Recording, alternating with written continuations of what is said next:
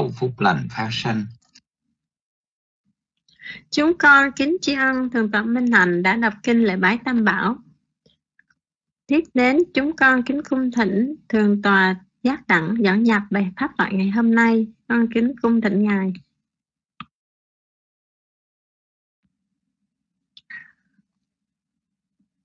Nam mô Bụt Thầy Kính đại lễ thượng tọa tuệ sư, đại lễ chư tôn đức, thân chào tất cả quý Phật tử. Thưa quý vị, ờ, hôm nay ờ, lẽ là là ngày giảng của thượng tọa Tuệ Quyền, nhưng ờ, thượng tọa Tuệ Quyền có Phật sự đi xa nên không có tiện cho buổi giảng hàng tuần. Và rất là hoan hỷ là thượng tọa Tuệ Siêu đã chấp nhận lời thỉnh cầu để điền khuyết trong buổi giảng ngày hôm nay. Thưa quý vị, ờ, tuần trước, à, ngày thứ bảy, chúng ta học uh, bài kinh uh, mang số 6. Lẽ ra kỳ này thì uh, chúng ta học xong bài kinh số 7 là kinh Nanda và Nanda Visala là bài kinh số 8 nhưng mà hai bài kinh ờ, số 7 và số 8 của phẩm này nếu quý Phật tử đọc thẳng vào trong uh, bản kinh được post lên trên website thì quý vị sẽ thấy rằng nó trùng lập với hai bài kinh mà chúng ta đã học trước đây. Một bài kinh về thời gian trôi qua ở trong phẩm cây lao và bài kinh khác là bài kinh bốn bánh xe ở trong phẩm kiếm ngoại trừ uh, một cái trường hợp duy nhất mà chúng ta có từ trước tới giờ đó là nói về dạ giả soa Anathabindika hay là thiên tử Anathabindika thiên tử cấp cô độc. Thì chúng ta giảng lại. Còn những bài khác thì cái bài học nào trung thì chúng ta kể như thông qua. Hôm nay thưa quý vị, chúng ta đi vào bài kinh số 9 của phẩm ngoại đạo. Các ngoại đạo thì trong bài kinh này chúng ta sẽ học về thiên tử Sushima. Nội dung của bài kinh ờ, nêu lên một trường hợp đặc biệt mà một vị tỳ kheo được một bạn đồng phạm hạnh tán thán hết lời. Bởi vì đồng bạn đồng phạm hạnh đó không phải là một bình thường, chính là thị giả của Đức Phật là Phật bậc đa văn quảng kiến. Nhưng mà lại không tiếc lời khen ngợi vị này. Nhưng mà chẳng những vậy, vị này còn được chính Đức Phật. Ngài cũng tán thán. Và chư thiên tán thán. Thì chọn cả bài kinh này, chúng ta sẽ được dịp để trở lại một hình ảnh rất thân quen, được biết đến rất nhiều. Nhưng mà không hẳn đa số Phật tử biết rõ đó là tôn giả Sariputta hay là tôn giả Sa Lợi Phật. Một gương mặt lớn ở trong dòng lịch sử của đạo Phật. Và ngài có nhiều cái di sản tinh thần để lại cho tất cả chúng ta mãi cho đến ngày hôm nay. Bây giờ thì mời quý vị nghe phần chánh kinh. Và sau khi đọc xong phần chánh kinh, chúng ta sẽ thỉnh sư tội tự siêu để giảng giải bài pháp này. Nam mô bích Thai giáo nam mô bút thai giá. Chúng con kính tri ân Thường Tòa Giác Đặng đã dẫn nhập bài học ngày hôm nay. Con xin đọc chánh kinh. Một người mà đóng đạo sư, pháp lữ, chư thiên đều hết lời tán thán. Kinh Sushima, Sushima Xuất Tăng, chương 2, Tương ưng thiên tử phẩm các ngoại đạo. Tôn giả Sariputta là bậc trí đức, kim ưu, Ngài là bậc thượng thủ, thanh văn, đệ nhất trí tuệ của Đức Phật, không phải chỉ đức được biết với trí tuệ mà còn qua tư cách ứng xử. Trong tất cả mọi trường hợp, Ngài đều thể hiện tánh hạnh cao cả của một bậc long trượng, long tượng với tất cả sự khiêm cung, là một bậc thầy của nhiều thế hệ không phải chỉ riêng tri kiến thù diệu mà còn để lại những gương sáng cho đạo, cho đời. Rất ít các nhân trong cuộc đời được một pháp lữ đa văn quảng kiến như tôn giả Ananda không tiếc lời ca ngợi. Chẳng những vậy mà thiên thiên chúng các cõi trời cũng một lòng kính ngưỡng và có lẽ khó tưởng tượng được một người học trò được bậc đạo sư chính là Đức Phật ca ngợi với những mỹ từ đẹp nhất có thể có thể có đối với trí tuệ và nhân cách của một người từng có mặt trên thế giới, trên thế gian này. Kinh văn, nhân duyên ở Swati rồi Đại Đức Ananda đi đến Thế Tôn. Sau khi đến đảnh lễ Thế Tôn rồi ngồi xuống một bên. Thế Tôn nói với Đại Đức Ananda đang ngồi một bên. Này Ananda, ông có hoan hỷ đối với Sariputta không? Bạch Thế Tôn, ai là người không ngu si, không ác tâm, không si ám, không loạn tâm, lại có thể không hoan hỷ đối với tôn giả Sariputta? Bạch Thế Tôn, hiền trí là tôn giả Sariputta. Bạch Thế Tôn, đại tuệ là tôn giả Sariputta. Bạch Thế Tôn, quảng tuệ là tôn giả Sariputta. Bạch Thế Tôn, hỷ tuệ là tôn giả Sariputta. Bạch Thế Tôn, tiệp tuệ là tôn giả Sariputta. Bạch Thế Tôn, lợi tuệ là tôn giả Sariputta. Bạch Thế Tôn viết trạch tuệ là tôn giả Sariputta. Bạch Thế Tôn ít dục là tôn giả Sariputta. Bạch Thế Tôn biết đủ là tôn giả Sariputta. Bạch Thế Tôn viễn ly là tôn giả Sariputta. Bạch Thế Tôn bất cộng trú là tôn giả Sariputta. Bạch Thế Tôn tinh cần tinh tấn là tôn giả Sariputta. Bạch Thế Tôn, biện tài là tôn giả Sariputta. Bạch Thế Tôn, nghe lời trung ngôn là tôn giả Sariputta. Bạch Thế Tôn, cáo tội trung thực là tôn giả Sariputta. Bạch Thế Tôn, chỉ trích ác pháp là tôn giả Sariputta. Bạch Thế Tôn, ai là người không ngu si, không ác tâm, không si ám, bằng tâm lại có thể không hoan hỷ đối với tôn giả Sariputta. Như vậy là phải, này Ananda, như vậy là phải, à này Ananda, này Ananda, ai vô si, không ác tâm, không si ám, không loạn tâm lại có thể không hoan hỷ đối với Sariputta. Này Ananda, hiền trí là Sariputta. Này Ananda, đại tuệ là Sariputta. Này Ananda, quảng tuệ là Sariputta. Này Ananda, hỷ tuệ là Sariputta. Này Ananda, tiệp tuệ là Sariputta.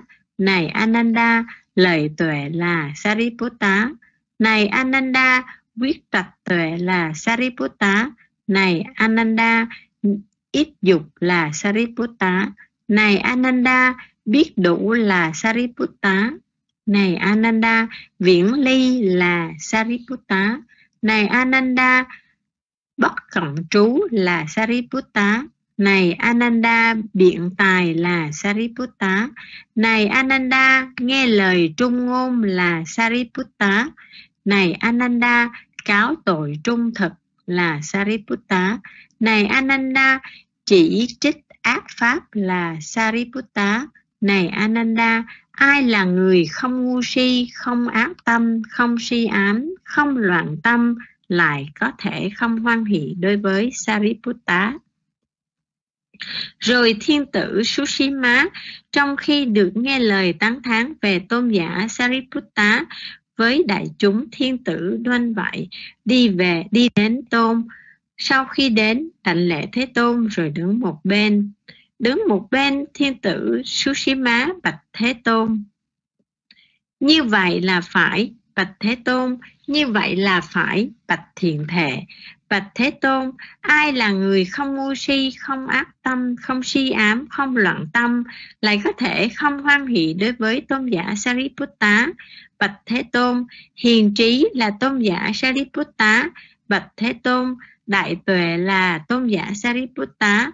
Bạch Thế Tôn, chỉ trích ác pháp là tôn giả Sariputta. Bạch Thế Tôn, ai là người không ngu si, không ác tâm, không si ám, không loạn tâm lại có thể không hoan hỷ đối với tôn giả Sariputta. Bạch Thế Tôn, con đi đến chúng thiên tử nào, con đều được nghe nhiều lần tiếng nói như vậy. Hiền trí là tôn giả Sariputta như trên vân vân, chỉ trích áp pháp là tôn giả Sariputta. Ai không ngu si, không áp tâm, không si ám, không loạn tâm lại có thể không hoan hỷ đối với tôn giả Sariputta. Rồi chúng thiên tử của thiên tử Sushima trong khi những lời tán thán Sariputta được lớn tiếng nói lên. Họ hoan hỷ hỷ duyệt, hân hoan và thân chói sáng màu sắc thuộc thẳng ví như một hòn lưu ly bảo châu đẹp đẽ trong suốt, có tấm mặt khéo dũa khéo mài, được đặt trên một tấm màn màu vàng da cam trói sáng, chiếu sáng và bừng sáng cũng vậy, chúng thiên tử của thiên tử Sushima trong khi những lời tán thán tôn giả Sariputta được lớn tiếng nói lên, họ hoan hỷ, hỷ duyệt, hân hoan và thân chói sáng màu sắc thù thắng. Ví như một đồ trang sức bằng vàng mịn được một người thợ vàng thiện xảo, khéo đập, khéo mài, đặt trên một tấm màn màu vàng da cam, chói sáng, chiếu sáng và bừng sáng. Cũng vậy, thiên tử chúng của thiên tử xứ xí má như trên vân vân và thân chói sáng màu sắc thù thắng. Ví như trong khi đêm đã gần sáng, sao mai chói sáng, chiếu sáng và bừng sáng. Cũng vậy, chúng thiên tử của thiên tử xứ xí má như trên vân vân và thân chói sáng màu sắc thù thắng. Ví như trong mùa thu, trên trời các vòng mây đã được bay sạch. Mặt trời mọc lên giữa trời, đánh tan màn đêm, khắp giữa hư không chói sáng, chiếu sáng và bừng sáng. Cũng vậy, chúng thiên tử của thiên tử Sushima, trong khi những lời tán thán tôn giả Sariputta được lớn tiếng nói lên, họ hoan hỷ, duyệt, hân hoan và thân chói sáng màu sắc thù thắng. Rồi thiên tử Sushima nói lên bài kệ này trước mặt Thế Tôn về Sariputta. Ngài Sariputta được mọi người xác nhận là bậc đại hiền trí, không phẫn hận ít dục, nhu thuận và điều phục, được đạo sư tán thán. Hiệu đính, Ngài Sariputta được biết là trí giả, thiếu thiểu dục, tánh hòa nhã, nhẹ nhàng, khéo từng chế, được đạo sư tán thán. Rồi Thế Tôn nói lên bài kệ về Sariputta cho thiên tử Sushima. Về Sariputta, mọi người đều xác nhận là bậc đại hiền trí, không phẫn nặng, không phẫn hận, ít dục, nhu thuận và điều phục, như người khéo điều phục, chờ đợi thời giờ đến để hưởng quả thuần thục. Hiệu đính, thầy Sariputta được biết là trí giả, thiểu dục, tánh hòa nhã, nhẹ nhàng, khéo tự chế, an nhiên, dòng thời gian, thích văn. Văn đi tô tí, sá măng nha tô, vì ấy được nhận biết là bậc trí. Sariputto Ako Thano Sariputta, người Sorry, hòa nhã. Cho Sorato Danto, thiểu dục, nhẹ nhàng, nhu thuận. Sát thú Wana Fato Isiti Bậc ẩn sĩ được đạo sư tán thán Ca lăng Can khá tí Sudanto An nhiên dòng thời gian Thích nghĩa Theo sơ giải thì sở dĩ Đức Phật hỏi tôn giả Ananda về tôn giả Sariputta vì biết cả hai là bạn thân giao và kính trọng nhau về trí tuệ và tánh hạnh. Và Đức Phật cũng biết rõ tôn giả Ananda sẽ có lời tán thán xứng đáng với tôn giả Sariputta. Theo sớ giải, những lời tán thán mang ý nghĩa đặc trưng gọi là trí giả Pandita, Bandita về thiện xảo đối với các nguyên tố hay giới, đối với sự hoạt dụng của các căn, đối với duyên khởi, đối với những gì có thể và những gì không thể, gọi là bậc tài tuệ Mahapanya vì thấu triệt và viên mạng giới định tuệ tâm giải thoát và tuệ giải thoát. Cũng là bậc thiện xảo trong sự tu tập 37 pháp trợ Bồ đề gọi là bậc quảng tuệ phú thú ban nhá vì liễu tri, uẩn xứ giới đế. Gọi là bậc hỷ tuệ, há xá ban ná. Vì hành trì, hành trình trên đạo lộ giải thoát với pháp hỷ, khinh an và tịnh lạc. Ngoài bậc trí ra quá ná ban nhá. Vì quán triệt các phạm, các pháp nhậm lệ. Ngoài là bậc tiệp tuệ cá ban nhá vì đoàn trừ các kiết sử nhanh chóng khi chứng đắc gọi là bậc quyết tạch tuệ nít bét hí cá tan nhá vì sắc bén phân biệt đối với thiện và bất thiện Tất cả những lời tán thán của tôn giả Ananda cũng được Đức Phật dùng để khen ngợi tôn giả Sariputta được ghi nhận trong một số kinh văn khác. Theo sứ giải, thiên sử Sushima trước khi sanh thiên cũng là một tỳ kheo theo học trò tôn giả Sariputta và cũng ghi nhận thêm là sau khi Đức Thế Tôn và tôn giả Ananda rất là lời tán thán thì vô số chư thiên ở nhiều thế giới cùng đồng ca ngợi. Con Phật ngôn cuối cùng, Ca Lăng, Can Khá Tí, Sú Đan Tô, rất khó dịch trong một câu năm chữ ở đây. Chỉ cho thần thái một bậc đã kinh qua hành trình vĩ đại. Hành tựu thuệ giác siêu việt với hành đức cao quý, ít người sánh được sống an nhiên trước viên tịch niết bàn. Ngài không tham cầu sự sống, cũng không tha thiết với sự viên tịch. Tất cả chỉ là thái độ tự tại trước dòng chảy của thời gian dịch giả hòa thượng thích minh châu, hiệu đính và biên soạn giáo trình tỳ kheo giác đẳng. Dạ thưa chánh kinh đến đây đã kết thúc. Chúng con kính cung thịnh thường tọa tề siêu giảng giải bài học ngày hôm nay. Con kính cung thịnh ngài.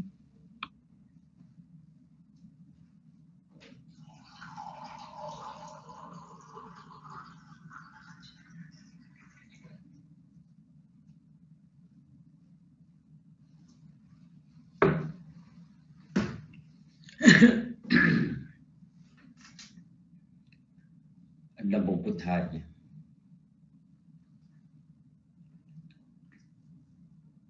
Kính lễ Đức Phật, kính lễ giáo Pháp, kính lễ tăng chúng. Kính chào Thượng tọa Nhật Đẳng cùng chư tụng Đức. Có mặt trong rung Kính chào tất cả quý tu nữ quý Phật tử.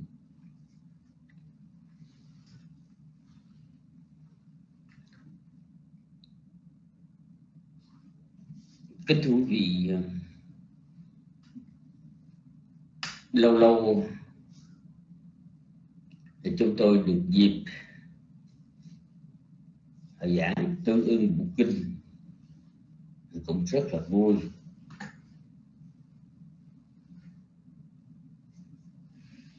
Bình thường thì chúng tôi chỉ giảng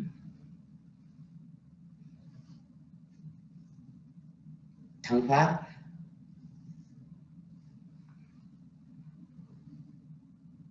Các phật tử chúng ta nghe khô can riết rồi cái sợ e rằng các vị mỗi lần mà nghe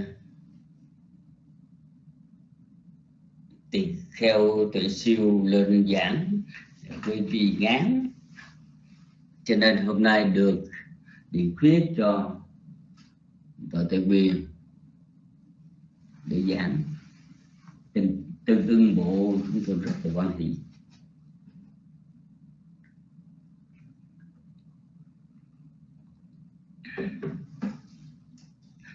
hôm nay chúng ta học một mình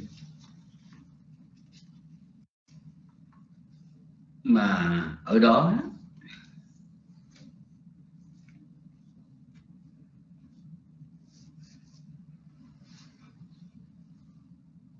một người có những cái đức tính tiêu biểu đặc biệt.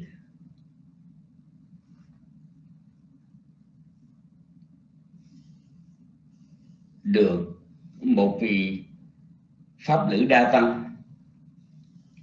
Hát lời ca ngợi.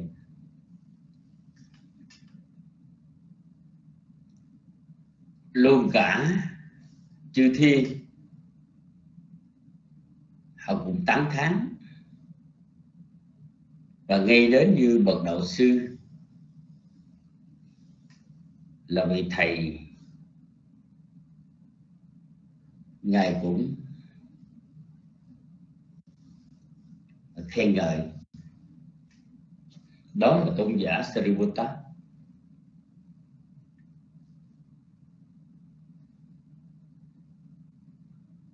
và khi Đức Phật hỏi tôn giả Ananda,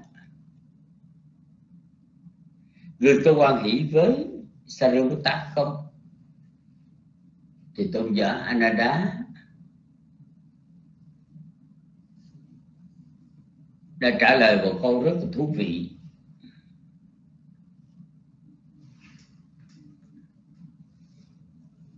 Ai là người à, không ngu si, không ác tâm, không si ám không loạn tâm, lại có thể không quan hỷ với tôn giả Sariputta cái câu này mới đọc qua đấy thì các phật tử chúng ta không hiểu cái cách cái của ngài Saru đến ngài Ananda ngài trả lời như vậy có nghĩa như thế nào? Ở đây có nghĩa là ngài Ananda ngài nói rằng bạch thế tôn, người có trí tuệ sáng suốt, tỉnh táo, thì làm sao lại không có thể quan hỷ với tôn giả Sariputta được?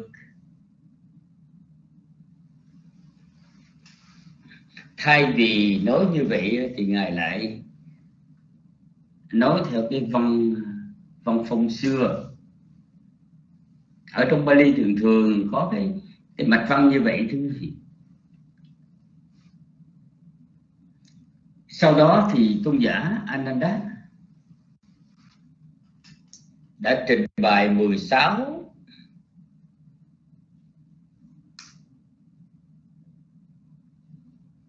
cái ưu điểm của tôn giả Sariputta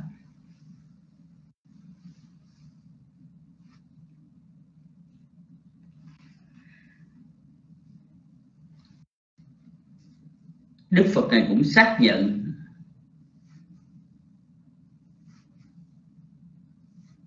Sariputta có 16 cái ưu điểm đó. Rồi, thiên tử Susima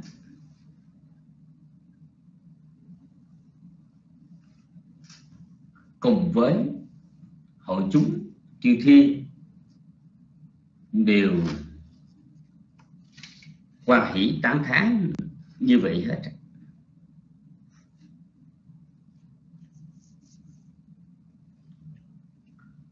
Ở đây, thưa quý vị,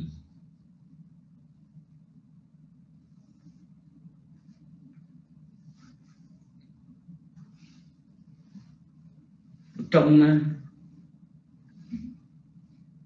cái môn học, Phật học chuyên đề,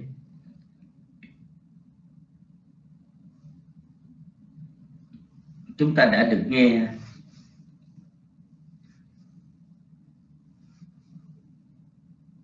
về lịch sử Đức Phật và đã nhắc đến các vị đại đệ tử của Đức Phật, các vị tinh văn thượng thủ tinh văn của Đức Phật như tôn giả Sariputta và tôn giả Mokkalana. chúng ta đã biết được thân thế của của vị tôn giả ấy ở đây chúng tôi chỉ trình bày cái ý nghĩa 16 cái lời tán thán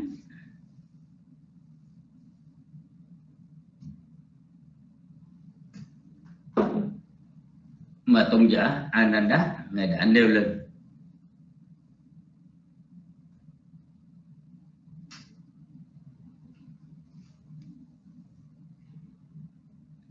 Bandita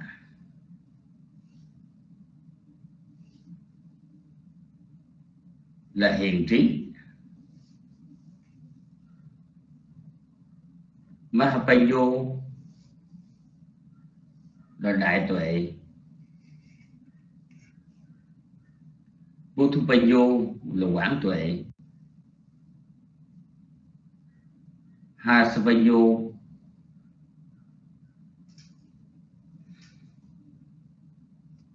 là hỷ tuệ.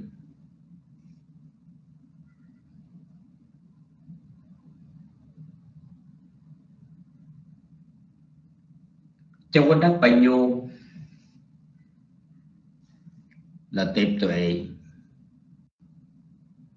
Tích khắc Bạch Nhu là lợi tuệ. Apicho thiểu dục. Santotho là tri túc.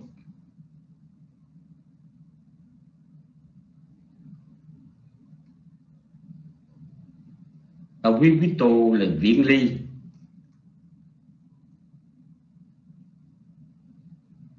Ở sang sắc thô.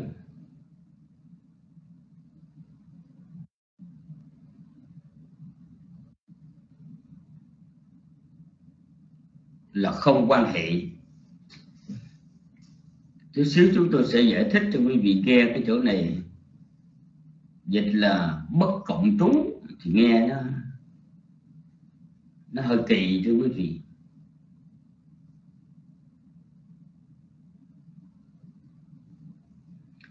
Chữ asanvaso ờ, à, chữ asanvaso à, là bất cộng trụ.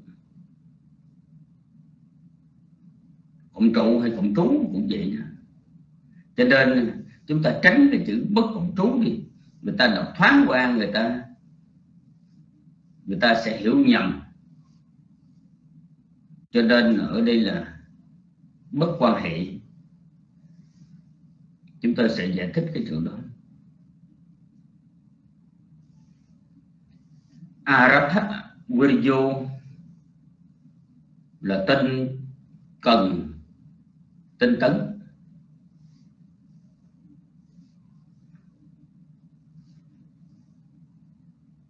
quá ta, tức là biện tài với chân nắp khắc mù là nghe lời trung ngôn, cái chỗ này cũng phải giải thích ra nữa. Thì để thời chúng ta không hiểu gì cả.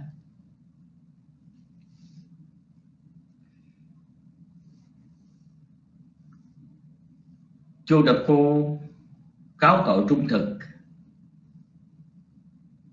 là là tôn giả Sarota Papak Garahi là chỉ trích ác pháp là tôn giả Sarvata.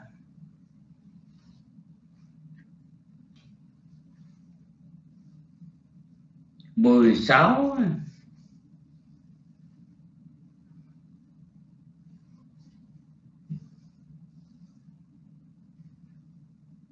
mỹ danh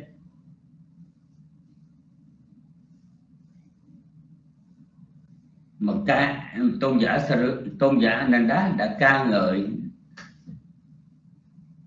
về tôn giả Sariputta và được Đức Phật cảnh chấp nhận. Thì ở đây đó,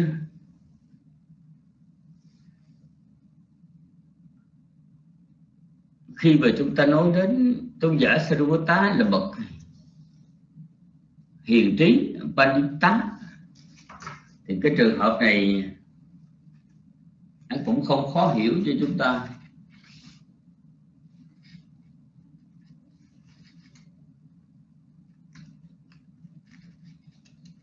Ngài là bậc Mahapanyo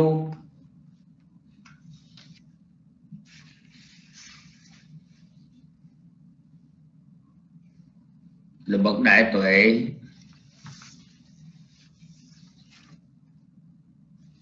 Hay là Kuthupanya tức là quán tuệ. Mấy cái này trong chú giải có giải thích hết thì chúng ta đã được nghe cái bài à, thích nghĩa khi nãy rồi. Haspanyo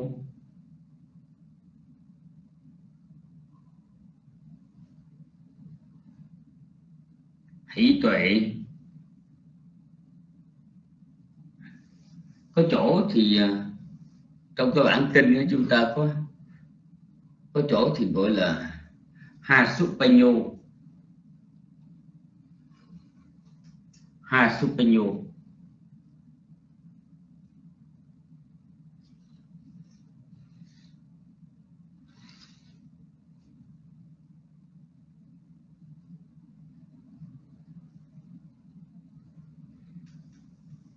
cái này giải thích nhiều lắm, thưa quý vị.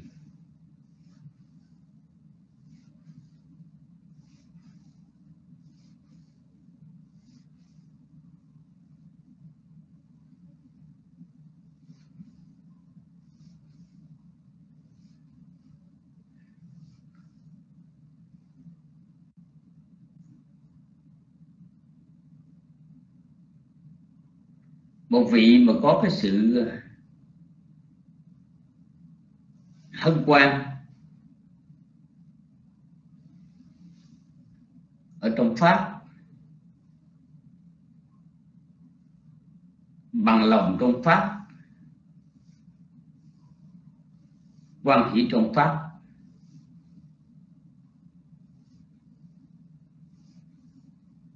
làm cho đầy đủ hay là viên mãn về giới, quẩn, định quẩn, tuệ quẩn, giải thoát quẩn, giải thoát tri kiến quẩn.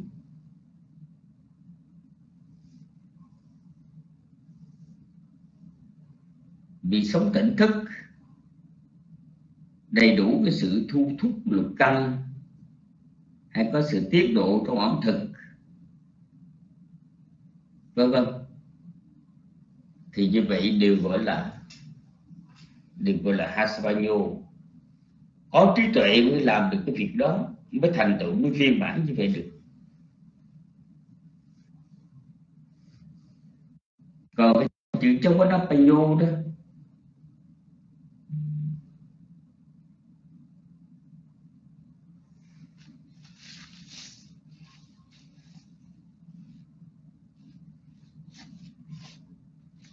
Vâng, bậc tiệp tuệ là cái trí tuệ.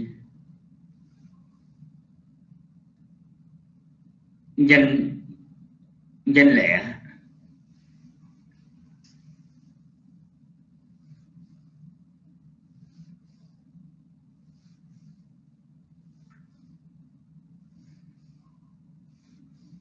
cái trí tuệ danh lệ ở đây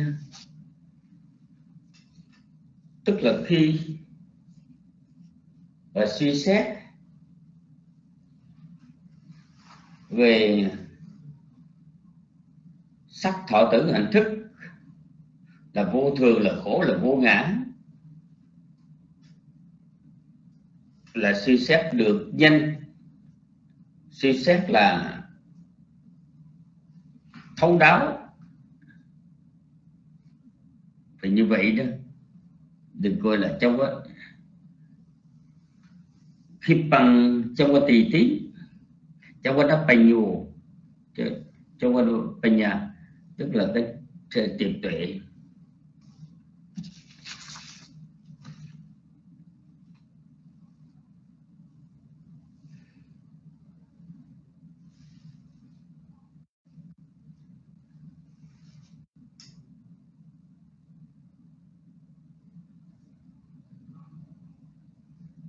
Còn gọi là thích không giờ là lợi tuệ nhé cũng là danh, trí tuệ danh nhạy bén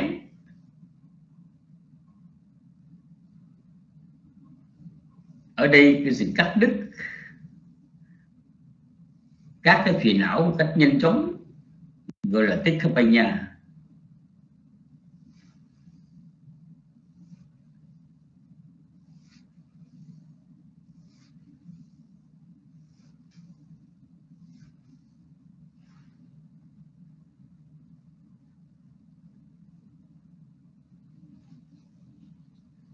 một người mà khi dục tầm, sân tầm hại tầm sinh khởi. Và người đó nhận thức được các cái tầm bất thiện đang sanh vị đó từ bỏ liền. Thì như vậy gọi là gọi là lợi tuệ. Vân vân, có nhiều ý nghĩa.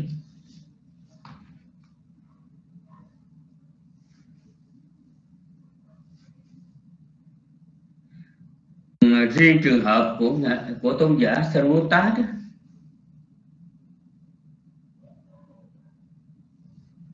thì ở trong chú giải nói rằng,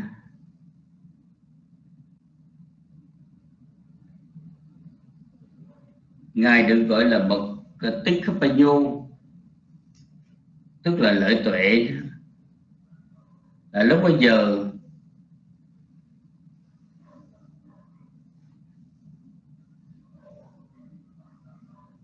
khi mà Đức Thế Tôn ngài thuyết cái bài pháp của Vedana Parikaha Sutta cho người cậu của ngài là đi khác nó khác là trường trảo, du sĩ trường trảo. Đi khác nó khác đến khác thì lúc đó tôn giả Sarvata trưởng lão Sarvata ngài đứng hầu Đức Thế Tôn mình ngài chỉ cần nghe như vậy đó, là ngài đã lãnh hội và đoạn trừ được tất cả các phiền não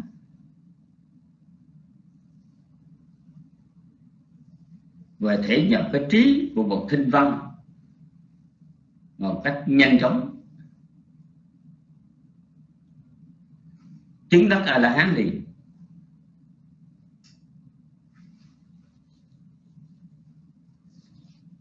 thì thưa quý vị, đó là trường hợp của ngài Sarutta được gọi là bậc tích khắp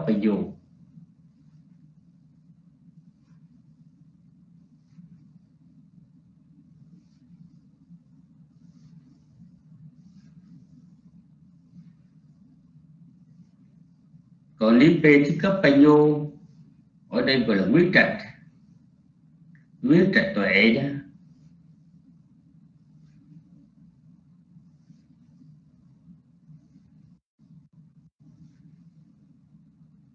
Tức là có cái sự phân tích.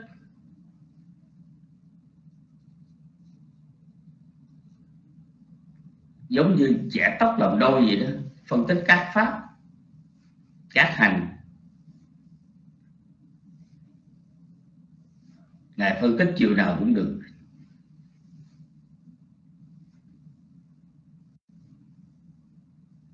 Một cái vấn đề như khi mà đức thế tôn ngài thuyết pháp cho chúng tỳ kheo nghe, có khi ở chỗ này ngài thuyết pháp. Một chi chỗ kia ngài thuyết pháp năm chi, bảy chi, ba chi, hai chi, một chi sau đó tôn giả Sariputta ngài được nghe, nhớ viết làm thuyết lại cho chúng tỳ kheo bằng cách là ngài sắp xếp như là một ờ, bách khoa từ điển hay là pháp số rồi sắp xếp lại, có cái hệ thống đàng hoàng để cho chúng tỳ kheo dễ nhớ, dễ học thuộc.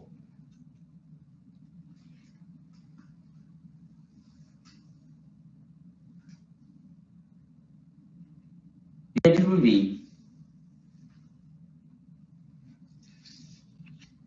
Đó là bảy cái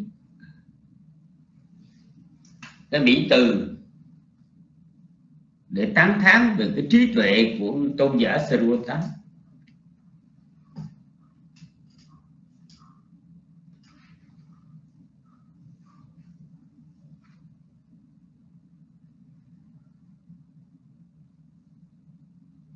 còn chính từ sau đó.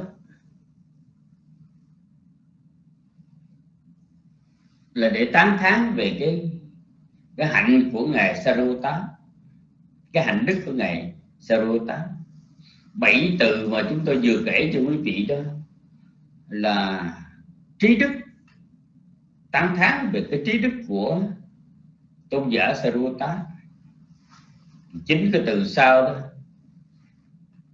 là tán tháng về hạnh đức của tôn giả Sarutta điều này cũng đáng được nói lắm thưa quý vị. Đáng được trình bày.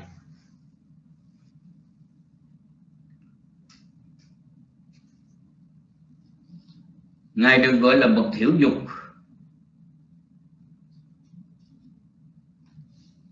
Tức là ít có cái sự ham muốn.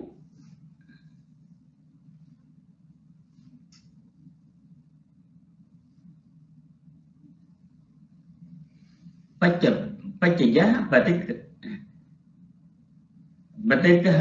Cha Matayu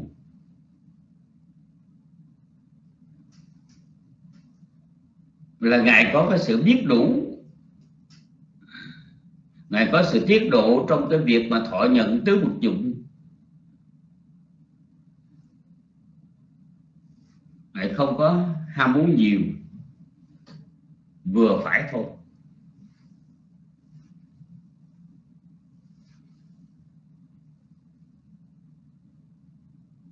Cái chữ apicho apicho ở đây chúng ta dịch là thiểu dục. Mặc dù dùng chữ hán, nhưng mà nghe nó dễ, nó đã quen đấy, thưa quý vị. Còn chúng ta dịch ra cái chữ, mặc dù dịch ra cái chữ cùng nôm thì chúng ta dịch là ít dục. Nhưng mà nếu một người học Phật chuyên đó. Thì nghe nói ít dục đó, thì người ta nghĩ rằng có chứ không phải là không có. Ít thôi. Nhưng mà có cái sự ham muốn.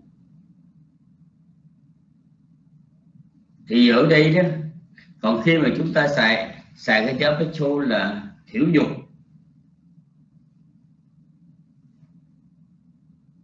Là cái từ này để nói lên một vị tỳ kheo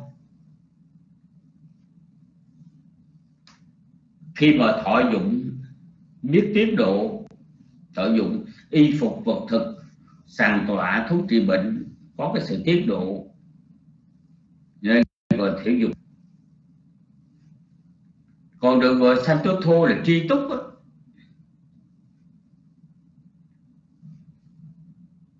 tức là bằng lòng Ờ, với bốn vật dụng. Nó có ba cái cái sự tri túc. Yatha là phát sanh tô sô tức là bằng lòng với lợi lộc, phát sinh. Phát sinh cách nào cũng được, bao nhiêu cũng được. Yatha palasantoso tức là tri túc tùy theo cái cái sức mình.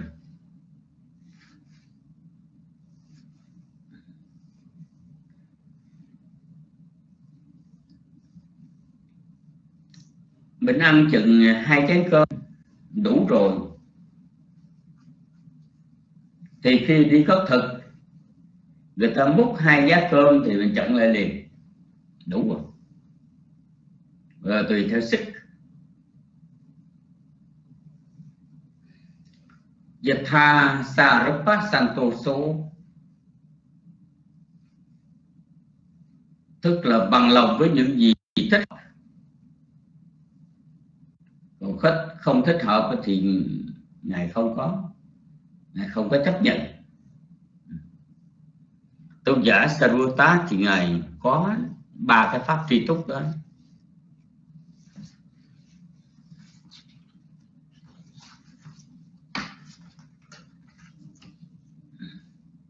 Cũng nói thêm rằng là nói tri túc lại biết đủ. Chúng ta biết như thế nào là đủ.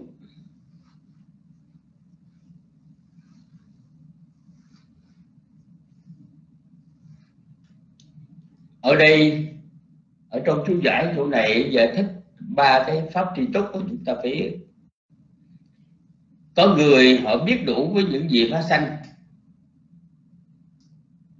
mình không đòi hỏi. Nhưng mà người, người ta cho nhiêu thì nhận nhiêu. Người cho nhiêu nhận nhiêu. Cái đó cũng là một sự tri túc. Nhưng mà cái tri túc đó đó nghĩa là còn nhận nhiều.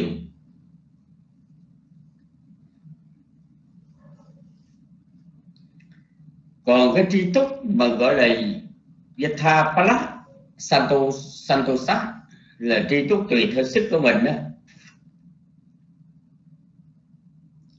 Thì à, cái sức lực của mình bao nhiêu á,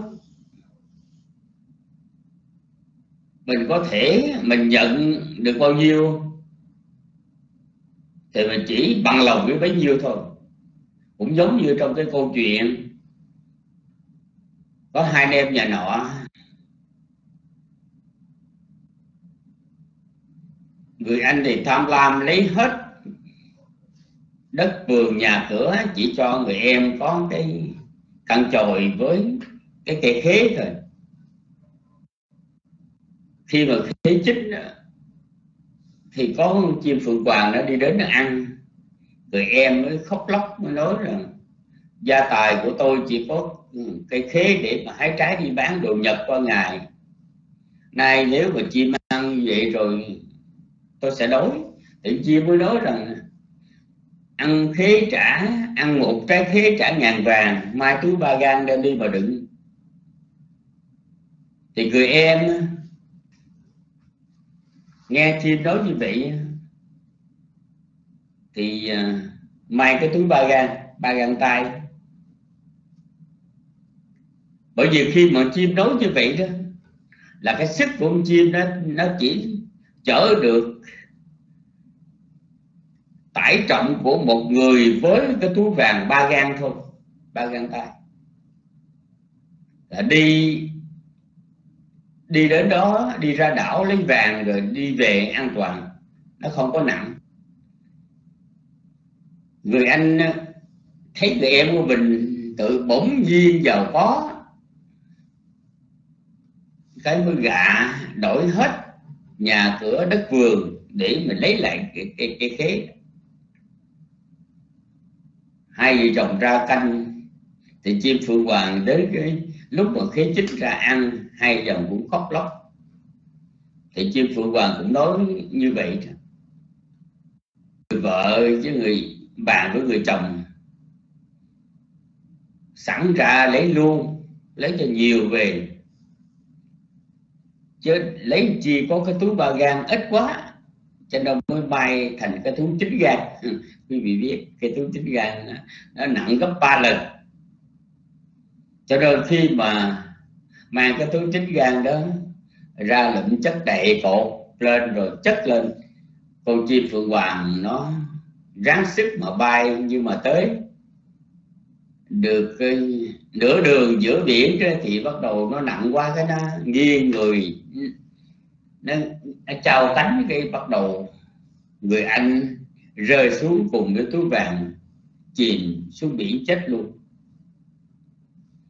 Thì cái trường hợp đó là chúng ta phải hiểu là là chúng ta phải tri túc tùy theo sức của mình. Vị tỳ kheo đi khất thực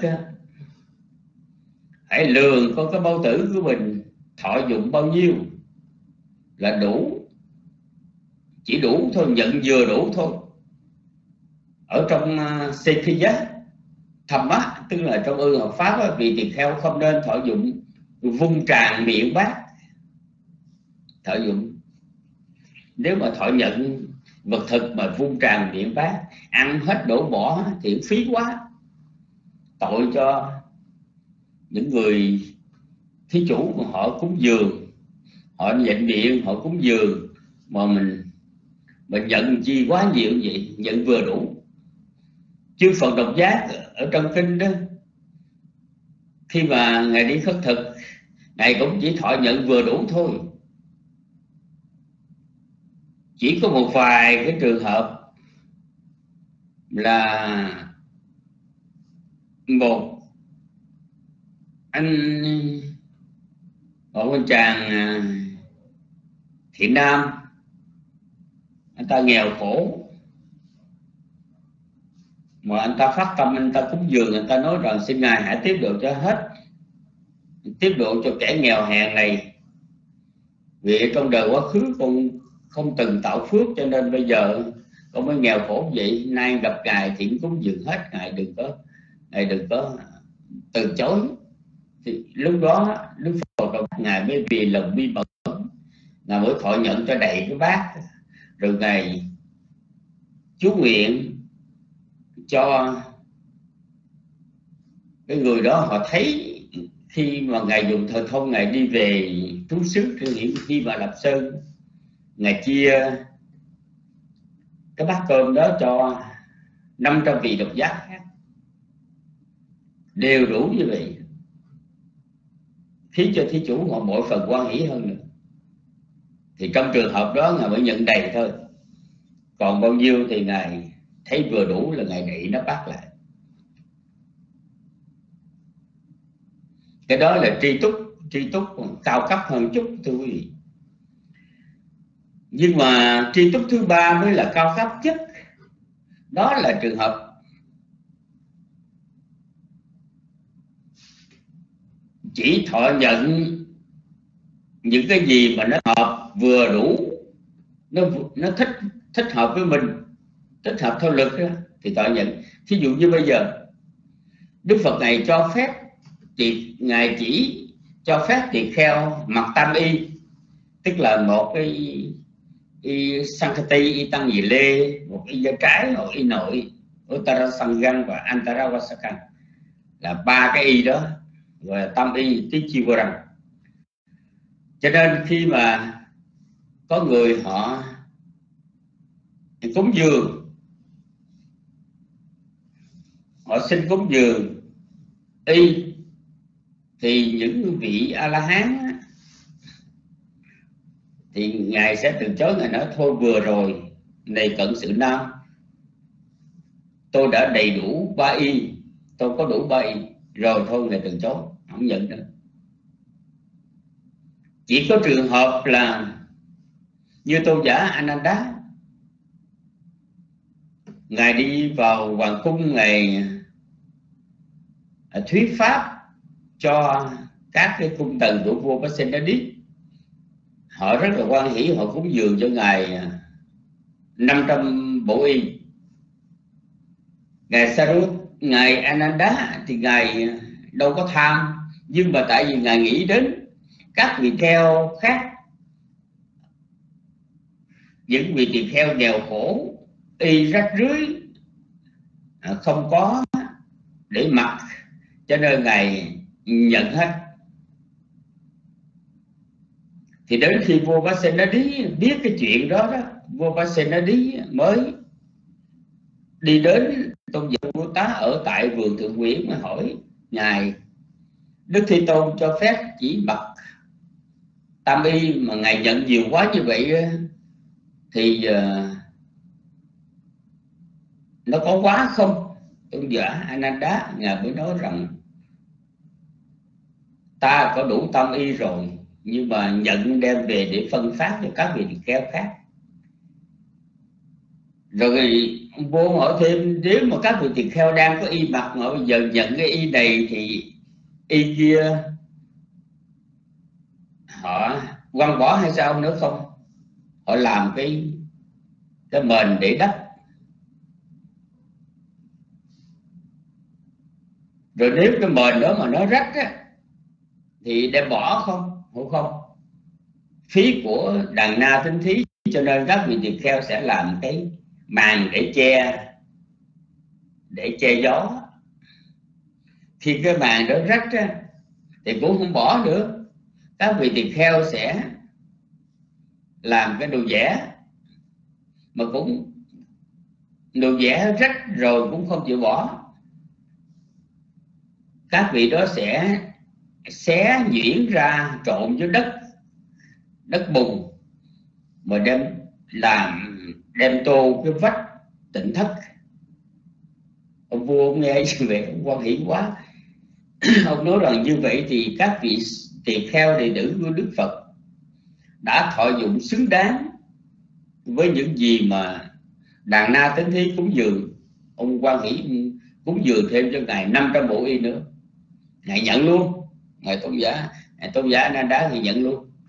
Rồi ngài đem về ngài mới chia cho các vị tỳ kheo. Nhưng mà trong khi đó thì ngài đem ngài chia cho hai vị hai vị tỳ kheo thị giả của ngài đó nhiều hơn chút. Người ta mới nói rằng ngài có sự thiên vị. Nhưng mà lúc đó ngài mới giải thích rằng vì hai vị thị giả này có công, có có cái công với ngài cho nên ngài có cái sự tri ân vậy đó. Chúng ta thấy cái cách hành xử của các bậc thánh, chúng ta đừng có vội vàng chúng ta phê phán hay chúng ta kết luận theo cái cách nhìn của chúng ta. Các ngài ứng xử như thế nào là có lý do, mà lý do lý do chính đáng. Trở lại vấn đề đó, thưa quý vị, là trong ba cái sự tri túc đó thì cái mà tri túc nó hợp hợp luật á tri túc hợp luật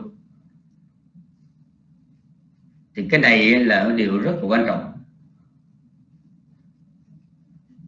Nó cao cấp hơn. Rồi nói đến cái hạnh viễn ly. Tao biết biết ở đây trong chú giải cũng có thích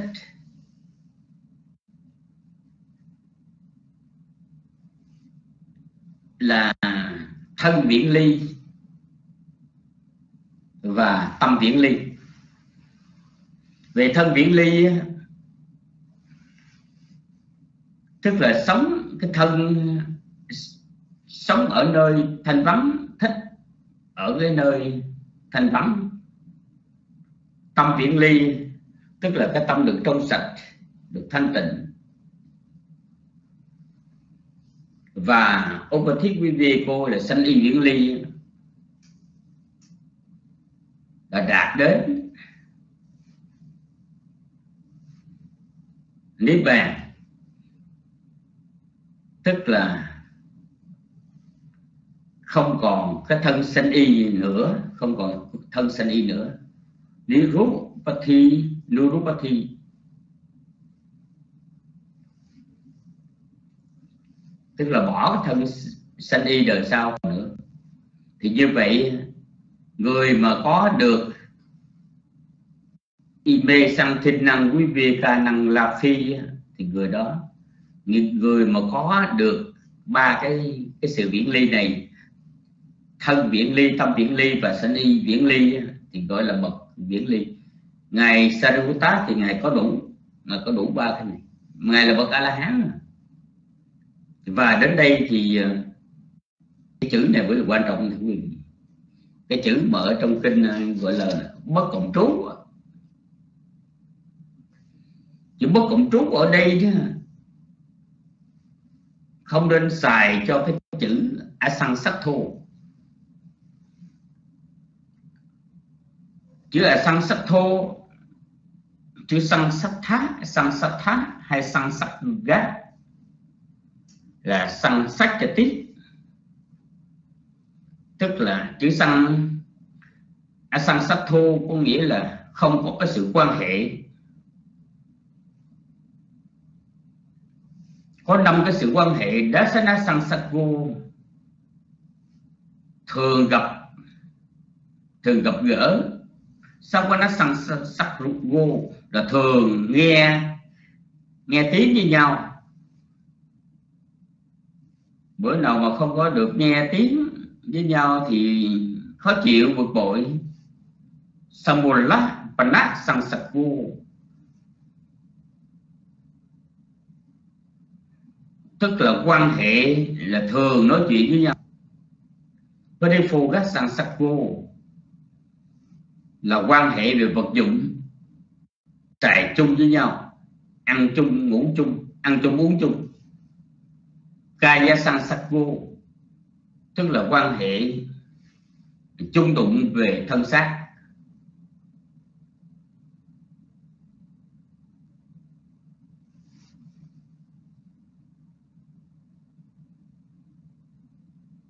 Thì à, cái đó là năm cái sự quan hệ nói vậy là giải theo cái chi pháp là năm cái sự quan hệ. Ở đây, một vị tỳ kheo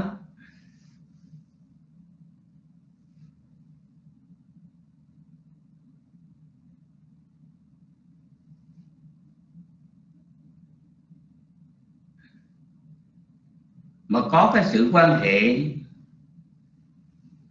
với tám hạng người là vua, đại thần, ngoại đạo hay đệ tử ngoại đạo, hay quan hệ với cận sự nam, cận sự nữ, với những vị tỳ kheo, với những tỳ kheo ni.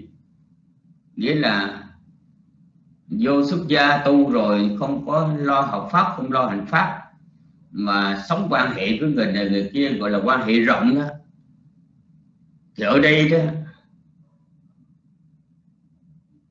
so sapopi thì rasanatiti là tất cả sự quan hệ đó là đối với trưởng, vị trưởng lão Sarupata không có, cho nên ngài được gọi là Asansattu mặc dù ngài là bậc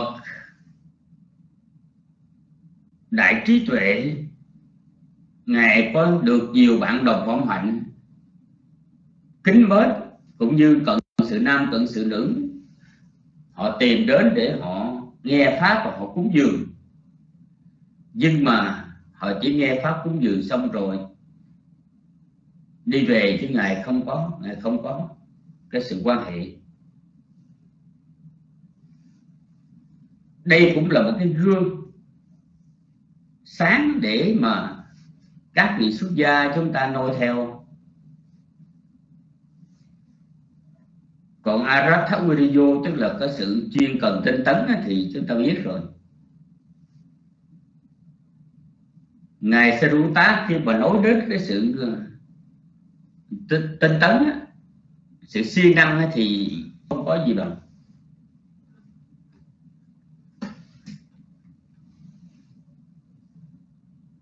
Dầu cho ngài là vị trưởng lão. Nhưng mà hễ ở trong chùa buổi sáng đó, các vị tỳ kheo khác cứ sáng tờ mờ là ôm báo đi khất thực. Còn cái chuyện mà sân chùa lá cây rớt xung quanh tỉnh thất hay sân chùa, nó dơ thì các vị cũng không để ý. Tôn giả Srivata ngài mới suy nghĩ rằng ta hãy quét dọn sạch sẽ, xong rồi hãy đi khất thực. Bởi vì khi mà có những ngoại đạo họ đến, họ viếng trú xứ của các vị tỳ kheo, họ thấy rác rưởi đầy chùa thì họ sẽ chê trách rằng các vị tỳ kheo lười biết cho nên ngài tình nguyện, ngài ai đi khất thực, sớm thì đi, còn ngài thì ngài quét dọn xong rồi ngài mới đi. Cái đó là cái hạnh của ngài. Cái hạnh đức của ngài, đặc biệt gì? Ngài có sự tinh tấn lắm thưa quý vị? Nhắc đại khái như vậy để cho quý vị nhớ. Còn cái gọi là chánh lá à, qua chánh nắc mô, tức là kham nhẫn với lời nói. Qua chánh năng, kham mà tiết là kham nhẫn với lời nói bởi vì ở đây có người á, họ dạy người khác được.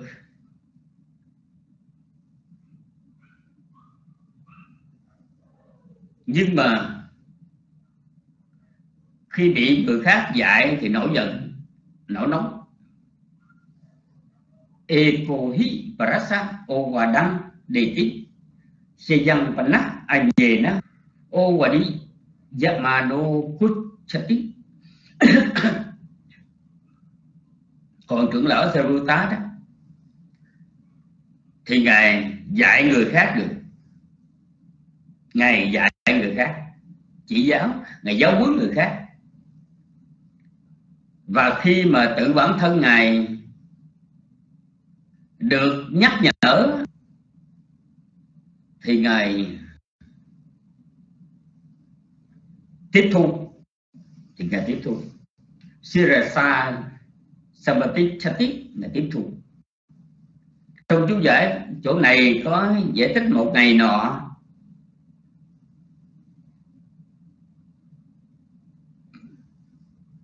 Có một vị sa di.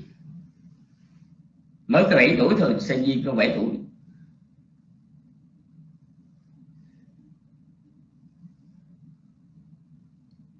Khi mà sáng ra chuẩn bị đi khất thực thì vị sa di đó thấy cái y đội của tôn giả Sarvata mặt nó hơi sệ xuống. Để mới nhắc, thanh tê Sarvata tâm hà căn đi qua Sana Kando Kano Alambati Ký À Bạch Ngài cái chéo y nội của Ngài nó bị thòng xuống. Thì lúc đó, tưởng giả không nói gì. Bước qua một bên. Bước qua một bên và sửa ngay ngắn. Sửa y nội cho ngay ngắn lại.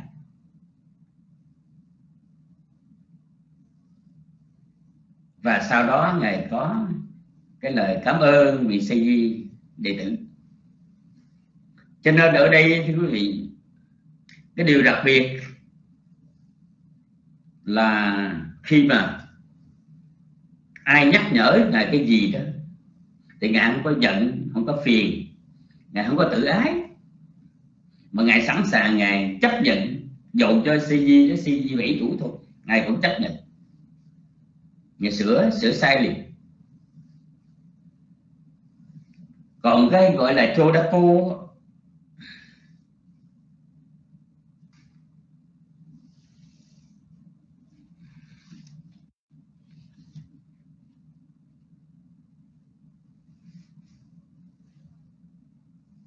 gọi là cáo tội trung thực ở đây ngài dịch là cáo tội trung thực. Nhưng mà thực ra đó, thì ở đây chùa Đa Cô là ngài à,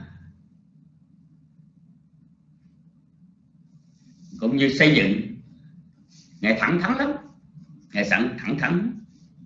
Này chi hiền vị tỳ kheo, phải mặc y nội như thế này đắp y da trái như thế này, phải đi như thế này, phải đứng như thế này, phải ngồi như thế này, phải ăn như thế này. Là luôn luôn này giáo giới, ngài chỉ dạy cho các vị tỳ kheo khác.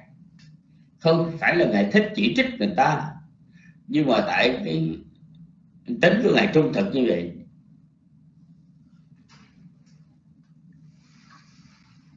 Và một điều nữa,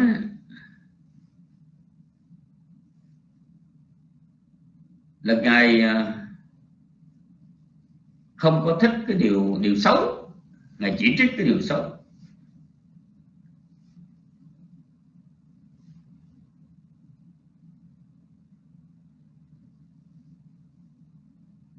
Ngài không muốn nghe, không muốn thấy cái người người xấu. Ngài không muốn nghe lời nói của những người đó.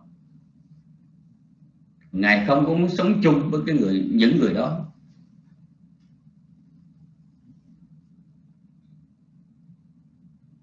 Cho nên có đôi khi đọc ở trong uh, tiểu sử của ngài đó thì chúng ta thấy gần như là những vị a la hán nói chung và tôn giả Saruri thấy có vẻ như là ngài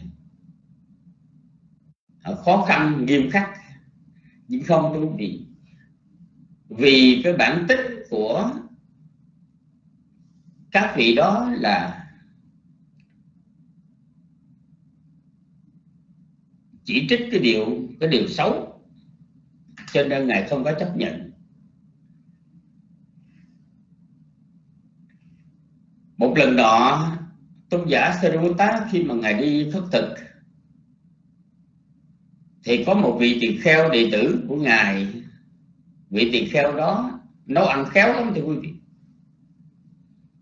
Cho nên bữa trước đi vào làng, đến nhà người quen,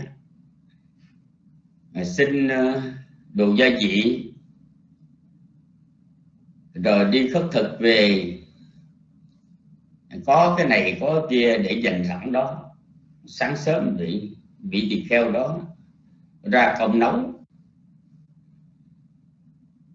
Sau khi nấu xong món ăn đó rồi đó, mới đem ra đón ừ, tôn giả Seriputta đi Phật thực tới rồi để bác.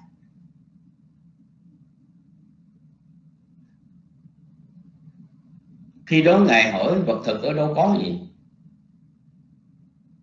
Nếu vị tỳ kheo đó mà đi khất thực mà có được cái vật thực đó đi về ngang rồi để bác cúng dường cho cho cho thầy thì ngài sẽ bố tá. Chắc có lẽ ngài sẽ nhận. Nhưng mà khi hỏi ra mới biết vị tỳ kheo đó đã ra công đấu nước thì đức phật ê, thì tôn giả sa này tá ngày ngày quở trách liền quở trách này hiện giả. Vị tiền kheo không nên làm như vậy, rồi ngài đẩy nó bắt lại, ngài đi luôn. Chứ ngài không có, ngài không có nhận. Thì tất tất nhiên, cái này nó sẽ khiến cho những, có một số người họ sẽ bực bội, họ không hài lòng. Nhưng mà chúng ta phải biết rằng cái tính cách của tôn giả Sarvata là như vậy. Nó có nhiều trường hợp lắm, có nhiều trường hợp lắm.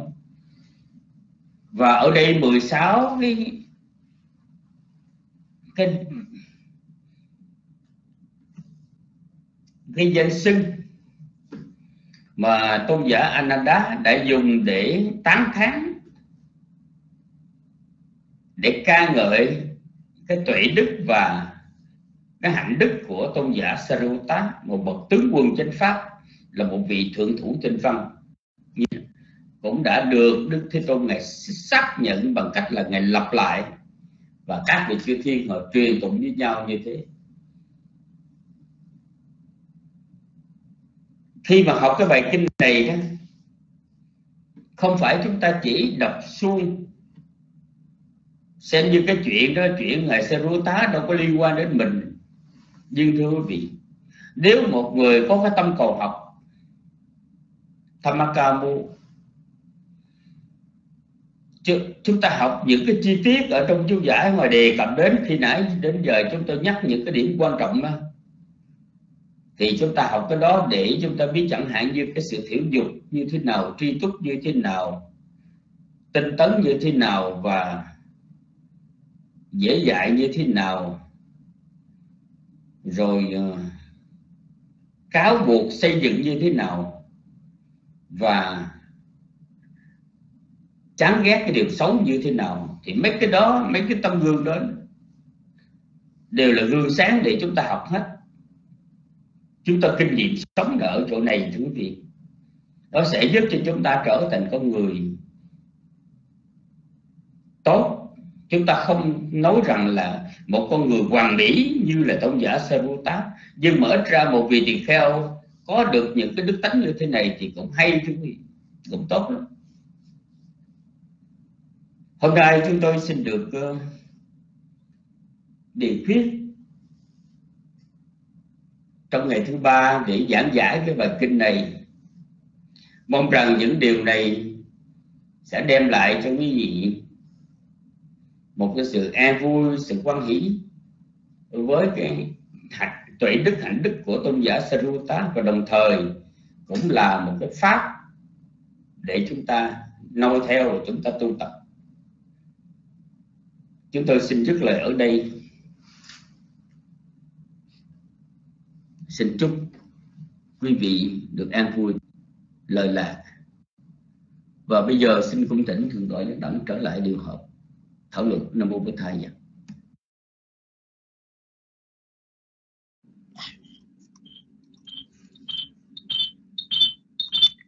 Sa thú cái trình thưa tọa tu sư. À, bạch thưa tọa tu sư xin được hỏi thưa tọa một câu rồi sau đó xin thưa tọa đi nghỉ. Phần còn lại uh, sư đệ và chư tăng sẽ đảm trách. Bạch thưa tọa tu sư à, không biết tọa có cảm nhận một điều này không là ở trong cuộc sống tu sĩ được.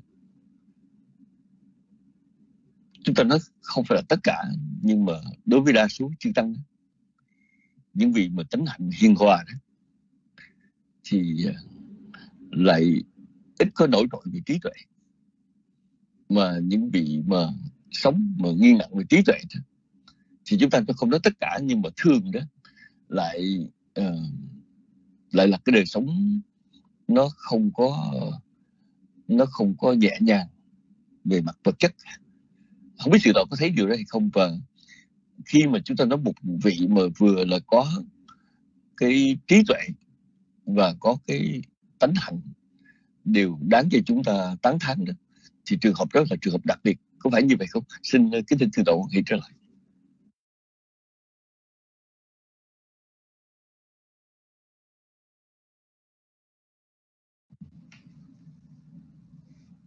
Nam Mô Bổn Thầy chứ kính bạch chư tăng, kính thưa quý vị.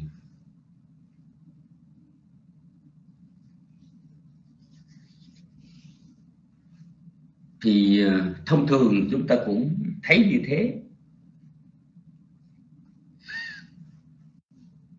Một vị mà họ thiên nặng về trí tuệ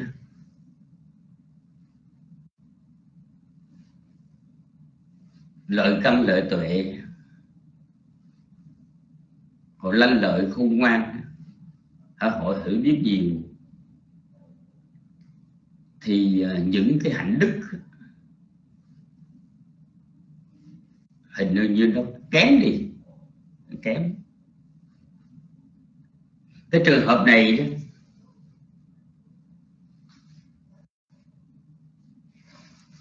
nó cũng có nhiều cái nguyên nhân ảnh hưởng trong đời quá khứ chứ không phải hoàn toàn như vậy. Nếu như trong đời quá khứ mà người này à, tu tập cái hạnh trí tuệ đồng thời người này cũng có cái sự trao dồi các cái hạnh đức khác như là sống thiểu dục tri túc tinh tấn hoặc là quen cái thường cận y duyên, là thích được nghe người khác chỉ lỗi, hoặc là có cái đời trung thực xây dựng.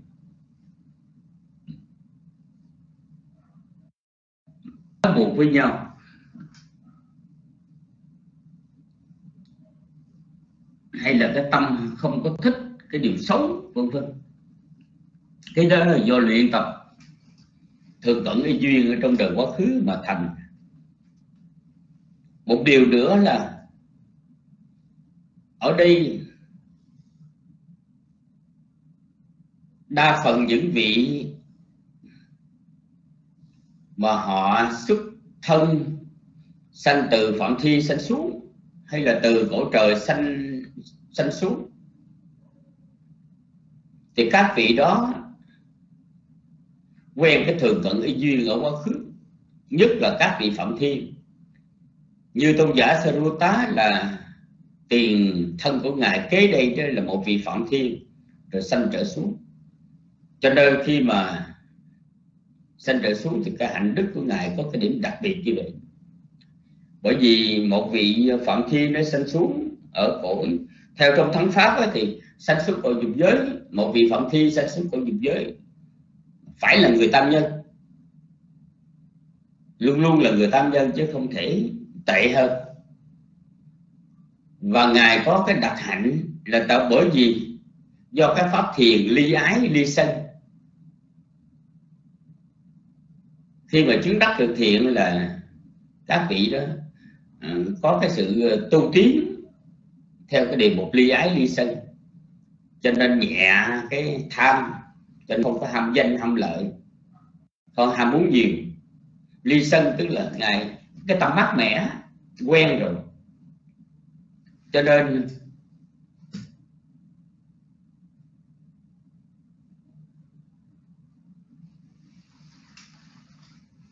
vị đó có cái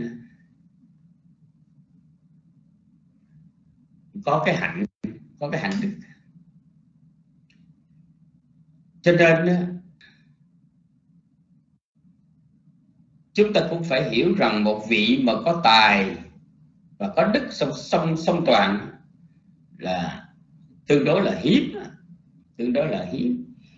Bởi vì thường thường người ta nói hãy có tài là có tật. Tức là thường là như vậy, có tài là có tật. Có những người có tài nhưng mà cái hạnh nó không có đẹp. Có tài thì có trí có trí thì cái hạnh nó không có đẹp. Còn những vị mà có cái hạnh đẹp thì những vị đó lại bất tài mới chết gì chứ? Cho nên ờ, biết như vậy đó, thì ngay bây giờ chúng ta phải tu tập là vừa trao dồi trí tuệ mà chúng ta phải vừa trao dồi cái cái hạnh đức cái trí đức và cái hạnh đức của mình. Nó thành cái thường cận cái duyên mà muốn tu cái hạnh đức đó, thưa quý vị. Người mà tu trí tuệ và tu cái hạnh đức được đó, thì chúng tôi thường nói với quý vị là có một cái đề tài tu tập và sau này quân nó quân tu cả cái trí đức và cái hạnh đức luôn. Đó là chúng ta chịu khó dùng trí để mà chúng ta thẩm sát vô thường, khổ não, vô ngã. Và khi đã thẩm sát, thấy các pháp tử vi là vô thường, khổ não, vô ngã, lúc đó mình khởi lên cái tâm nhàm chán, ly tham và mình cảm thấy nhàm chán, ly tham. Với cái vô thường, chúng ta nhận biết cái gì vô thường thì cái đó là khổ. Chúng ta quán cái sự khổ một thời gian sau, cái tâm của mình nó cũng nhẹ nhàng. Chúng ta ít có sân, ít có nổi nóng. Bởi vì khi mà nổi nóng lên thì chúng ta thấy cái khổ do cái pháp vô thường nó còn dày dặt hơn nữa. Cho nên mấy cái này kể đó, các pháp vô vi mà có sanh, có diệt, nó có thịnh, có suy, là lẽ thường tình, chúng ta có thể giảm bớt được. Cho nên cứ tu tập, vô thường khổ đau, vô ngã, quán vô thường khổ đau, vô ngã, cái đó nó cũng khả dĩ là nền tảng cơ bản để sau này chúng ta là người vừa có trí vừa có vừa có vừa có tài, vừa có đức, vừa có trí, vừa có hạnh đó thưa quý vị cho nên, để trả lời cái câu hỏi của thượng tọa đẳng thì chúng tôi cũng xin chia sẻ thêm với quý vị một phần nhỏ ở phía sau để chúng ta có cái hướng chúng ta tu tập cho tốt. Xin kính thỉnh thượng tọa đẳng trở lại. Nó mua bích thai cho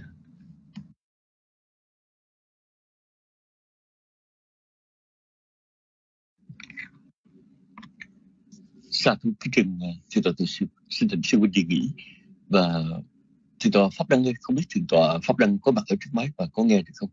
Nếu thượng tọa đăng nghe được xin dạ có. Dạ vâng. À, thượng tọa pháp đăng thường thường á có một vài cái hình ảnh mà người ta hay đưa ra là một bậc giải thoát á. Thì cái này giống giống như là rất là tự tại rất là phóng khoáng. Không cần phải giữ ý không cần phải sống chuẩn mực không còn phải sống gương mẫu nhưng mà có thực sự như vậy không? Hay là thì tôi đọc ở trong kinh thì thấy rằng ngay cả các bậc thánh mặc dù các ngài hoàn toàn giải thoát không một phiền não nhưng mà các ngài vẫn sống rất là chuẩn mực sống rất là cân nhắc trong những gì mà uh, các ngài thể hiện. Uh, và lý do tại sao vậy? Xin kính thỉnh thì tôi học đăng.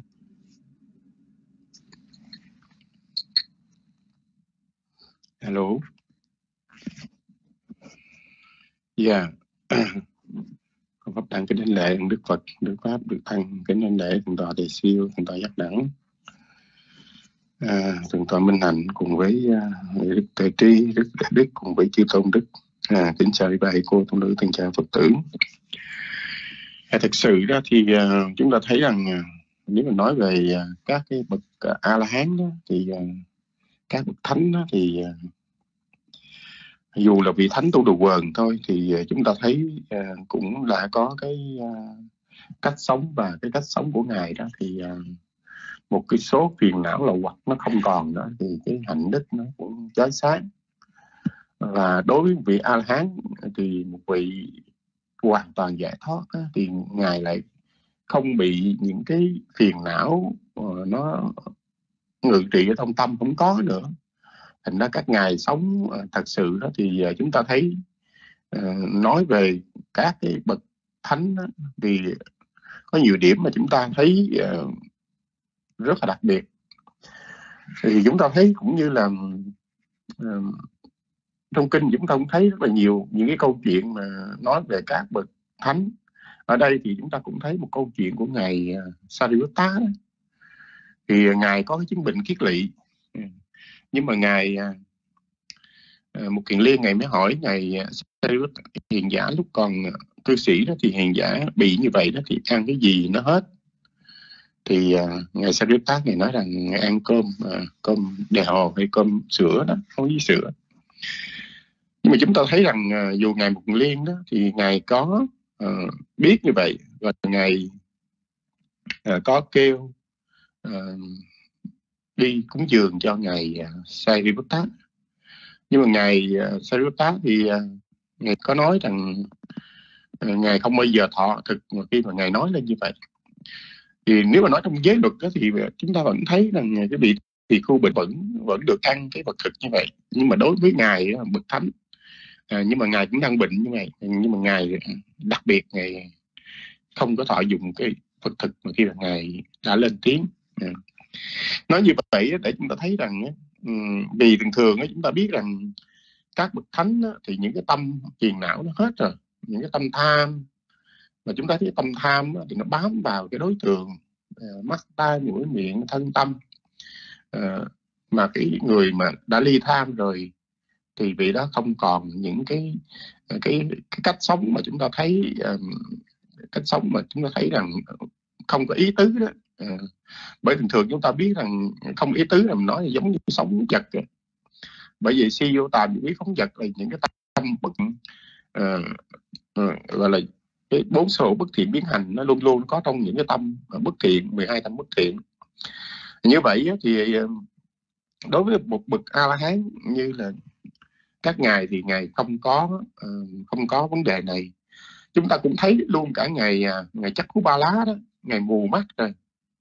Ờ, ngày ngài đi với những người giáo sa di mà người giáo sa di ờ, đã vi phạm mà vi phạm. Và vị đó nói rằng mình quần tục rồi. Quần tục rồi. bây giờ cầm gậy đi với sư cậu để về. Nhưng mà mà cái vị sư cậu đó là ngày chắc cú ba lá vẫn bỏ vẫn bỏ không có chịu đi chung với cái vị sa di báo của mình đã phạm học ừ, lúc mà làm sa di thì chúng ta thấy rằng thật sự đó, thì dù là ngài mù mắt như vậy, dù là người cháu như vậy, nhưng mà ngài vẫn vẫn không có đi chung với người cháu. Ngài nói lên những cái bài kệ mà trong đó chúng ta coi thì chúng ta cũng thấy là rất xúc động. Đến nỗi mà thiên chủ đế thích phải quá thành một cái người để dẫn đường, để ngài về kinh thành ờ, sau thi. Ừ. như vậy thì chúng ta thấy rằng đối với thật sự thì các thánh ừ, thì các ngài có cái cái hạnh rất là đặc biệt. Nhiều khi mình nghĩ rằng thành bậc thánh rồi thì ờ, mình thường thường mình cũng thấy trong ờ, ở vi diệu pháp nói rằng cái tâm tố nó không có ba giới phần ờ, chánh ngữ chánh nghiệp chánh mạng. Mình nghĩ rằng không có ba giới phần thì uh, nghĩa là những vị a la hán làm sao làm không phải vậy quý vị. Ừ. Bởi ngài là trở thành thánh hạnh rồi chánh ngữ hay chánh nghiệp chánh mạng ngài không có vi phạm nữa. Uh, ngày ngày không có vi phạm nữa ngày hoàn hảo rồi. Nghĩa là lúc nào uh, cái uh, cái việc nói hay làm của ngài đó nói hay làm của ngài nó nó hoàn toàn trong sạch. Ừ, hoàn toàn trong sạch. Ờ, tuy rằng chúng ta cũng vẫn thấy uh, tám tâm di tác dục giới uh, nó vẫn có những tâm thiện ly trí hợp trí nó vẫn có. Uh, nhưng mà chúng ta hiểu rằng uh, không phải là ngày sống không có ý tứ nó không phải vậy không phải. Chỉ có tâm ly trí mình hiểu là những cái tâm đó giống như bước tới bước lui rồi mặc y mặc đi vệ sinh này cái nọ đâu cần phải có trí nó không cần. Nhưng mà lúc mà um, cần um, thuyết pháp giảng đạo hay là cần thì cũng có phải có trí quý vị phải có trí. Như vậy thì chúng ta thấy rằng nhé, đối với các bậc thánh uh, mình thấy uh, các ngài luôn luôn lúc nào uh, chứ cũng không phải như bên uh, bên uh, bên Trung Quốc mà nói về ờ, tới công Phật sống mà mà tùm lum tùm la đó, chuyện đó không có đâu quý vị. Ờ, chuyện đó không có đối với kinh điển Phật giáo Nam truyền không bao giờ có. Ờ, cái việc mà các bậc thánh thì các ngài rất là đặc biệt. Chúng tôi nói như là ngày chắc cu ba lá ngày mù như vậy đó. Rồi người cháu đó mà nói rằng bây giờ con quần tục rồi con dẫn sư cậu về mà ngài cũng không chịu đi chung luôn quý vị thấy uh, rất là đặc biệt. Ừ thì uh, uh, nói gì đến các bậc uh, mà sáng suốt mắt còn các các các căn các giác quan còn đầy đủ thì các ngày cái hạnh tánh của ngài rất là đặc biệt. À, chứ không phải không phải là sống không có khuôn phép mà các ngài nó trở thành cái thánh hạnh rồi cái thánh hạnh cái hạnh của bậc thánh rồi. À, cái nghĩa là lúc nào nói hay làm thì không có bị ô nhiễm nữa nên cái thánh hạnh nó trở thành thánh hạnh à, chứ không phải là thường.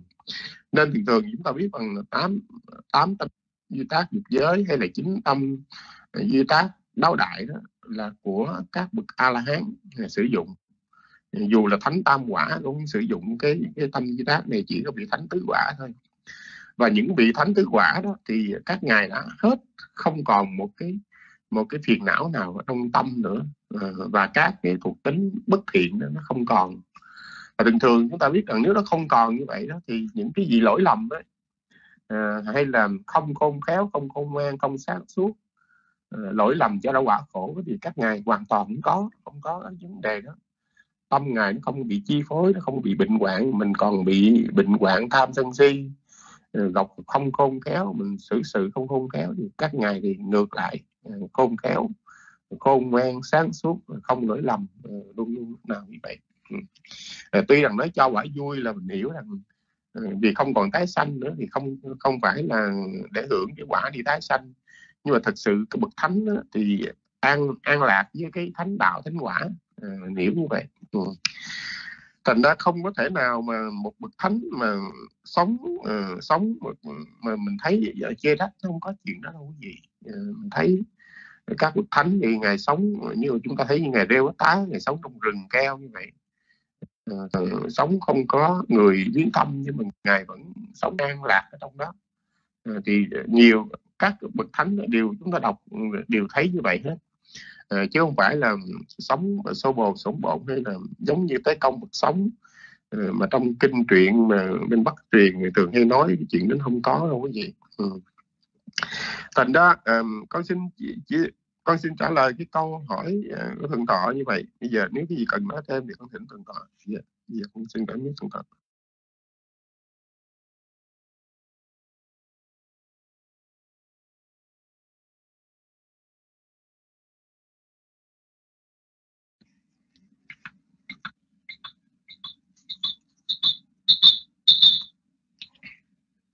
sa thu kính trình uh, ờ, thượng tọa pháp đăng.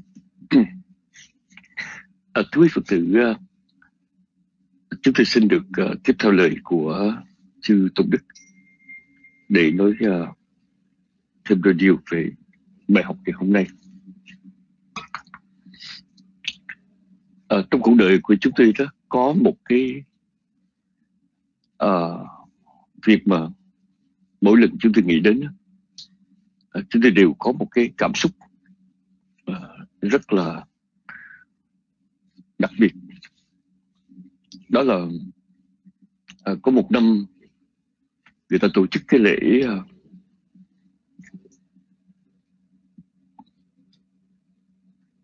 cung đón và chiêm bái xá lợi của tôn giả à, xá lợi phất và tôn giả mục kiền liên.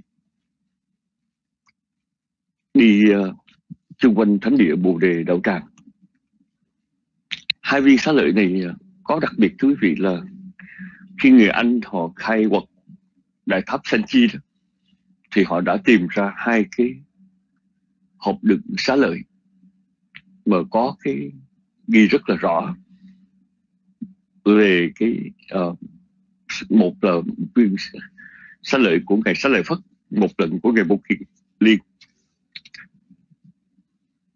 Và đó là năm ờ, 1911 họ đã đem xá lợi này đem về bên Anh Quốc và lưu giữ ở tại cái viện bảo tàng Royal Museum của nước Anh.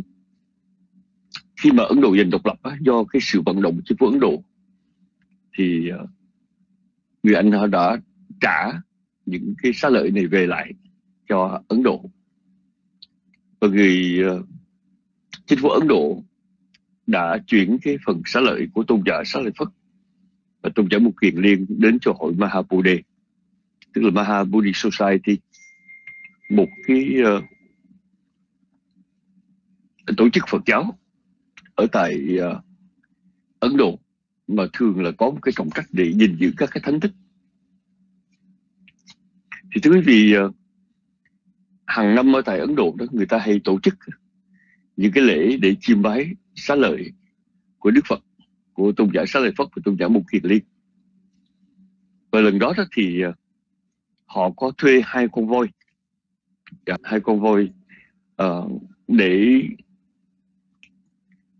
đội hai cái kiệu uh, để để uh, rước hai cái xá lợi hai phần xá lợi của hai vị thương thủ tinh văn này.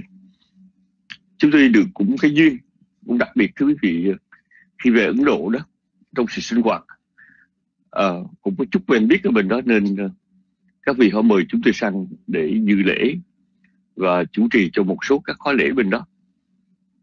Thì trong cái cuộc đi uh, chung quanh thánh địa bồ đề đạo tràng á, thì chúng tôi là người uh, được phân công để ôm cái tháp đựng xá lợi của tôn giả xá lợi Phật. Sau ba ngày mà đã được chiêm bái ở tại chùa Mahabodhi Society. Thì trước khi họ cất vào trong tháp thì có một cái buổi rước kiệu xá lợi chung quanh. Khi chúng tôi ngồi trên lưng con voi đó mà ôm trong tay tháp đựng xá lợi tôn giải xá lợi phất đó, thì ờ, chúng tôi thực sự rất là xúc động. Xúc động lắm bởi vì vì là một vị tu sĩ mà đọc vào trong kinh điển đó, thì ờ, dù thế nào đi nữa thì chúng tôi cũng phải đọc rất nhiều về vị thánh đại đệ tử này của Đức Phật. Mà cả hai truyền thống à, Nam Tông và Bắc Tông đó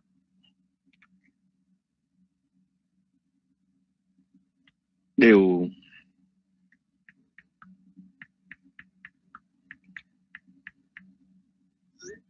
dành cho ngài những cái uh, những cái dư nhận của một nhân vật lịch sử quan trọng. Và tại cái di tích của đại học Nalanda thì người ta có cả một cái đại tháp rất lớn mà đại tháp gọi là đại tháp xá lợi phất nên mà họ đã thờ xá lợi tôn giả xá lợi phất trong cái đại học danh tiếng được Nalanda ngày nay đó thì ờ, người phật tử bắc truyền thì biết một số những cái điều liên quan đến ngài xá lợi phất. Mặc dù trong cái truyền thống Phật giáo bắc truyền thì hai vị đại đệ tử của đức phật không phải là ngày bục kỳ liên ngày xá lợi phất, mà là ngài được thay thế bằng ngày phổ hiền và ngày văn thù. Nhưng mà Phật giáo bắt truyền mà thở xưa đó thì vẫn xem ngày sẽ Lợi Phất có một cái vị thế rất quan trọng. Thí dụ bài kinh Bát Nhã có những câu như là uh, xá lợi uh, tử sắc bất gì không không bất gì sắc thọ tưởng hình thức gì phục gì xá lợi tử đó là ngày xá lợi Phất. Hay kinh duy Ba Cật cũng đề cập đến tôn giả xá lợi Phất mặc dù thì không có đẹp lắm nhưng mà cũng đề cập đến tôn giả xá lợi Phất. Và nhiều bộ kinh khác của Phật giáo Đại thừa cũng nhắc đến tôn giả xá lợi Phất. Trong lúc đó thì ờ, ở Phật giáo Nam truyền đó thì chúng ta biết rằng hình ảnh của tôn giả xá lợi Phất là một cái hình ảnh rất uh, đặc biệt đặc biệt lắm.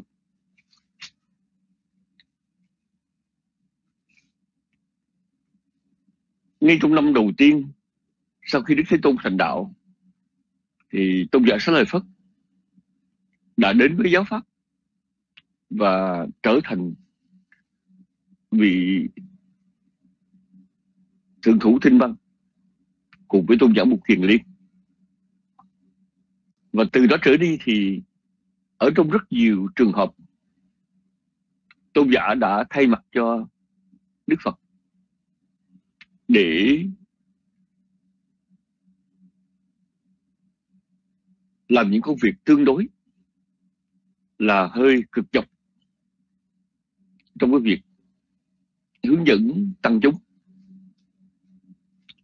theo Trung kinh thì khi đức thế tôn ở tại chùa trúc lâm hay ở tại nirotha nirotha rama, hay là tại kỳ viên tịnh xá thì tôn giả Xá Lợi phất và tôn giả một kiền liên đóng cái vai trò như là hai vị là hai vị giáo thọ.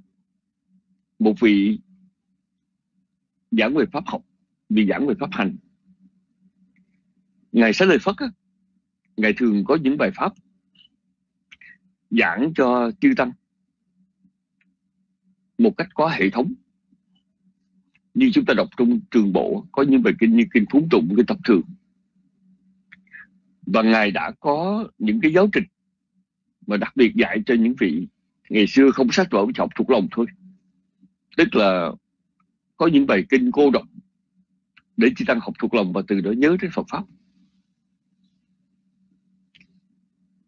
Và nhiều phần ở trong thắng pháp Abhidhamma á, là do ngài sẽ lấy Phật giảng.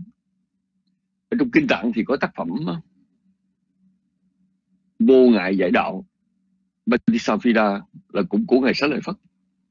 Và một vài vài cái bản sớ giải cũng là do ngài Xá Lợi Phất ngài giảng dạy. Thì ở trong kinh nói rằng à, những vị tỳ kheo sa di, đó là đa số chứ không phải tất cả, mà những người mới vào chùa tu đó. Thì tôn giả Xá Lợi Phất là người hướng dẫn bước đầu để tạo cho cái kiến thức và niềm tin do đó ngài được xem như là sanh mẫu. Và ngài Bụng Kiền Liên thì ngài hướng dẫn về pháp hành để đi xa hơn trong con đường thiền định. Do đó ngài Bụng Kiền Liên được xem như là dưỡng mẫu, bên là sanh mẫu, bên là dưỡng mẫu. Một bên dạy về pháp học, bên dạy pháp hành. Dĩ nhiên là ngài Sánh lời Phất ngài cũng có dạy về pháp hành. Và ngài Bụng Kiền Liên cũng dạy pháp học. Nhưng mà đó là đa phần đa phần thì đó là cái trách nhiệm của hai vị. Tôn giả Xá Lợi Phất hay là tôn giả Sariputta ở trong cái tư cách là một vị giáo thọ, một vị nguyên soái của chánh pháp, ở trong đạo tràng của Đức Phật hiện tại, ngài không phải chỉ đảm nhận cái vai trò quản diễn Phật pháp, mà ngài còn là một cái gương sáng như chúng ta nghe thì tội tội sư đề cập đến rất nhiều về cái cách sống, về cách ứng xử, về cái quy nghi tế hạnh của ngài. Ngài là một vị rất là đặc biệt và để lại cho chúng ta nhiều cái hình ảnh. Nếu mà chúng ta nói về trong số đệ tử Phật mà những lời dạy những cái hành trạng được lưu lại trong kinh điển nhiều nhiều nhất thì cái vị đó phải nói đến tôn giả Sariputta hay tôn giả Sa Lợi Phất. Tôn giả Sa Lợi Phất và tôn giả Mục Kiền Liên đều lớn hơn Đức Phật 4 tuổi. Và cả hai vị đều viên tịch Niết Bàn trước Đức Phật 6 tháng. Và rồi ờ, có nghĩa là năm Đức Thế Tôn 80 tuổi thì tôn giả Sa Lợi Phất, tôn giả một Kiền Liên đều là 84 tuổi. Chà, 84 tuổi. Thưa quý vị, ờ,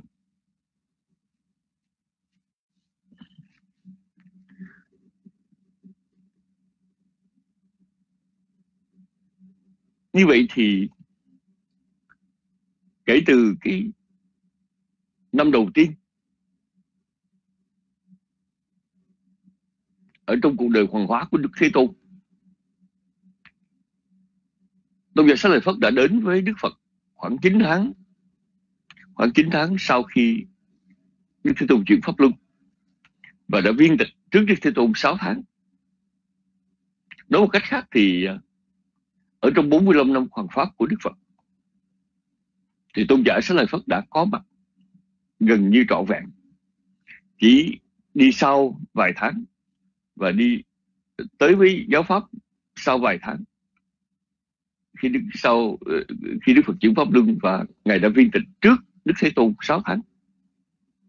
Như vậy thì nếu chúng ta nói thì ngài có mặt ít nhất cũng 44 năm ở trong suốt cuộc đời hoàng đạo của Đức Phật.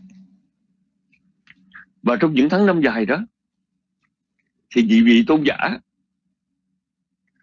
đóng một cái vai trò rất là quan trọng là thay mặt cho Đức Phật để đặt để cái diền mối tu tập sinh ở trong tăng chúng. Chúng ta có thể nói như vậy, thưa quý vị, Đức Phật thường khai thị cho chúng sanh trong những trường hợp cá biệt. Và Đức Phật Ngài thường khởi đầu cho các cái bài giảng, các bài thuyết pháp. Ví dụ như khi Đức Phật giảng về Kinh Phạm Võng, thì chỉ Đức Phật về bạn giảng cho tôn giả Sách Lợi Phất không phải là người giảng Kinh Phạm Võng. Nhưng mà để đem những lời dạy của Đức Phật để giảng dạy một cách có trường lớp như một giáo trình hàng ngày ở trong chùa thì đó là công việc của tôn giả Xá Lợi Phất. Rất nhiều thế hệ của chư vị tăng ni được lớn lên thời Đức Thế Tôn trụ thế, nhưng mà không phải học trực tiếp từ Đức Thế Tôn, mà phát tâm quy ngưỡng Đức Thế Tôn, rồi xuất gia vào chùa và nhận được cái sự hướng dẫn, đào tạo của tôn giả Sát Lợi Phất để trở thành những vị tỳ kheo, tỳ kheo ni có học có hành. Ảnh hưởng tôn giả sáng là phất rất lớn lớn lắm. Mà thậm chí mà sau này một vài sử gia trong đó có Edward Concy một sử gia người Anh khi viết về Phật giáo Nguyên Thủy thì đã gọi Phật giáo Nguyên Thủy thuộc cái gọi là cổ phái trí tuệ và cái người trưởng tràng cái vị sơ tổ cái người uh, khởi sự điều đó là tôn giả sát lợi phất. Dĩ nhiên cái nhận xét đó rất là chủ quan. Nhưng mà chúng ta phải nhìn nhận rằng do tôn giả sát lợi phất ngài đã giảng dạy rất nhiều ở trong cái phương pháp mà gọi là quý phân gác. Hay nói dài hơn là bát thí quý phân gác nên về sau này đó người ta cũng gọi Phật giáo là một cái truyền thống gọi là phân tích tông. Và phân tích tông tức là uh, mình nói cái gì ra cũng phải có chia sẻ. Ví dụ mình nói là uh, cái gọi là chúng sanh thì gồm có năm thành tố sắc quẩn thọ quẩn thức quẩn hành quẩn thức quẩn. Rồi sắc quẩn gồm có sắc tứ đại rồi địa, địa đại ờ, thủy đại quả đại phong đại rồi uh, về danh thì có tâm và thuộc tánh của tâm vân vân. Thì uh, nói về thọ tướng hành thức thì nói chung là nói về cái sự phân tích đó, thì quý vị lại có một cái một cái phản phất đâu đó hình ảnh của tôn giả Sa Lợi Phất. Mặc dù ta nói như vậy là Đức Phật chính là vị đã giảng dạy như vậy nhưng mà thường thì có những điều Đức Phật giảng dạy trực tiếp cho tôn giả Sa Lợi Phất. Tôn giả Sa Phất là một vị biện tài. Sĩ như ngài Đức Phật không phải nói lặp đi lặp lại nhiều lần và Đức Phật có thể nói những điều rất thâm sâu. Khi mà tôn giả giảng dạy lại cho chư tăng á, thì tôn giả phải dạy chậm và có một cái phương pháp nhất định. Và có phương pháp nhất định. Chúng tôi lấy ví dụ là quý vị nào đã đọc đã học những bài kinh như là kinh thập thượng hay là kinh phúng tục ở trong trường bộ kinh, thì hiểu là cái phương cách dạy của tôn giả xá lợi phất. Làm sao để cho người ta nhớ? Bằng cách là dựa trên pháp số, pháp có một chi, hai chi, ba chi, bốn chi, năm chi, sáu chi. Hoặc giả là phân theo thể loại, categorize, tức là phân loại ra. Và một pháp có nhiều tác dụng, một pháp cần được tu tập nhưng một pháp cần phải đoạn trừ, vân vân. Rồi hai các pháp cần phải đoạn diệt, hai pháp cần phải tu tập, hai pháp cần phải đoạn trừ. Nói chung là cái cách của ngài đó là một cái cách giảng dạy, có cái cách trường lớp dĩ nhiên là ngài cũng đi đó, đi đây, cũng tiếp xúc và cũng có những bài giảng riêng biệt cho chư tăng. Nhưng mà thời đức thế tôn còn tại thế đó, thì các vị thánh đệ tử mà có những cái trách nhiệm ngồi trách biệt. Như tôn giả Nanda là vị thị giả của Đức Phật. Là vị lắng nghe và hỏi lại Đức Phật về tất cả những gì mà Đức Phật đã giảng dạy. Và Đức Phật ngài muốn tôn giả Nanda nhớ điều gì đó, thì tôn giả Nanda nhớ trọn vẹn điều đó. Hay tôn giả Upali là vị thọ trì về tặng luật trực tiếp từ Đức Phật. Thì Đức Phật ngài giảng giải một căn kẽ cho tôn giả Upali để làm chuyện đó. Sau này kết tập thành tặng luật nhưng mà riêng đối với tôn giả Xá Lợi Phất thì ngài cũng thừa hưởng được sự hướng dẫn trực tiếp của Đức Phật thí dụ như Đức Phật ngài giảng giải thắng pháp cho tôn giả Sở Phật. Giảng một lần và giảng rất nhiều nhưng rồi từ đó tôn giả mới trao truyền lại cho 500 đệ tử và những cái tác phẩm mà chúng ta được biết như là Thama Sankani, ờ, uh, Vifanga, uh, ờ, uh, ờ, Bukala Banyati, Thatu Katha, xin lỗi Katha Quá Thú, um, uh, Thatu Katha hay là Yamaka Mahapathada thì những tác phẩm đó là những tác phẩm mà tôn giả Sáng Lợi Phất từ sự học hiểu được truyền đạt bởi Đức Phật và tôn giả đã sắp xếp lại trong cái bố kịch bố cục. Và bố cục mà thỉnh thoảng chúng tôi có đề cập đến cái uh, ờ, nội dung của uh, các bộ thắng pháp ngoài trừ bộ thứ năm là bộ Katha là bộ ngữ thông bộ sáu bộ kia được xem là tôn giả Sở Lợi Phất. Ngài đã uh, uh, ngài đã trước tác dựa trên những gì ngài học từ Đức Phật. Và kể cả bộ ờ, uh, Batisafida là bộ vô ngài giải đạo mà chúng ta được nghe ngày đây thì thưa quý vị tôn giả Xá Lợi Phất. Không phải chỉ là một bậc thầy dạy về pháp học, mà ngài còn nêu cao cái gương lành cho chư tăng. Ở trong chùa nếu mà chư tăng sống, mà để có được những cái hình ảnh nhìn vào thì Đức Phật ngài khuyên, hãy bắt chước như sở lợi Phất, bắt chước như một kiền liên. Đó là dạy của Đức Phật. Khi Đức Phật ngài dạy như vậy không có nghĩa là chỉ học pháp học hay pháp hành mà học theo cái tánh hạnh cách cư xử ở trong tăng chúng. Thời gian đầu khi Đức Phật ngày hoàng pháp đó, thì hầu hết các vị đến với giáo pháp là những vị trí thức như ngài Uruvela Kassapa, ngài Giá tôn giả Ananda vân vân. Nhưng mà càng về sau này thì chư tăng càng đông đảo. Có nhiều vị thì thật ra đến từ nhiều cái xuất thân rất là phức tạp do đó đức phật ngày phải dạy là nên đi như vậy, ăn nói như vậy, cư xử như vậy.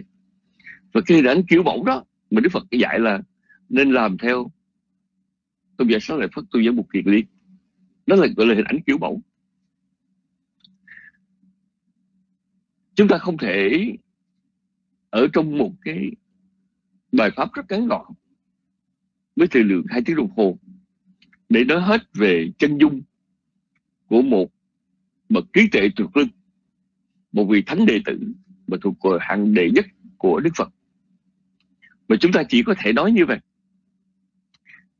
Một vị đệ tử mà được chính Đức Phật tán thán hết lời, được một vị thị giả của Phật, là một vị kiến văn quảng bác cũng là một nhà đại trí thức như Tục Ananda tán thán hết lời và được chư thiên tán thán hết lời.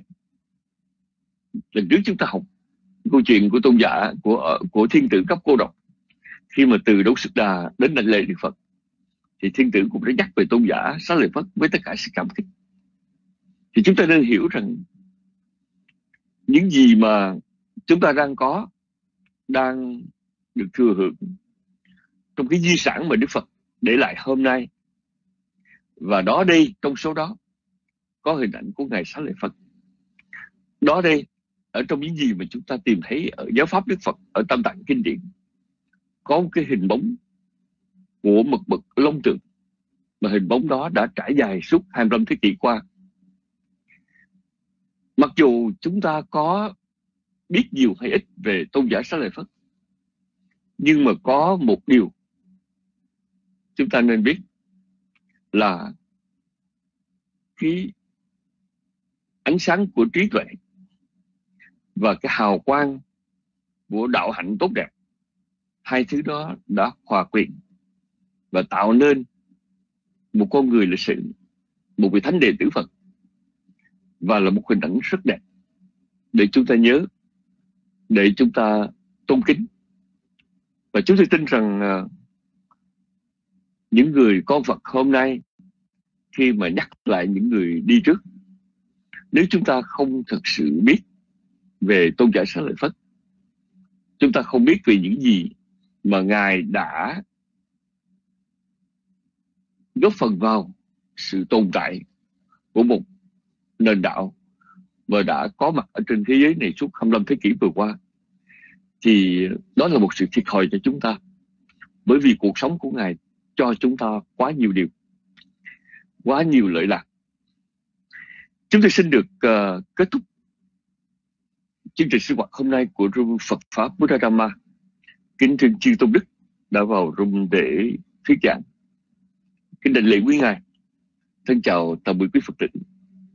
Ngày mai này chúng ta sẽ tiếp tục giáo trình tương ứng bộ và vị giảng sư là thượng tọa pháp đăng. Kính chúc tất cả quý ngài và quý vị một ngày an lành một đêm an lành. Nam mô bổn thầy ạ.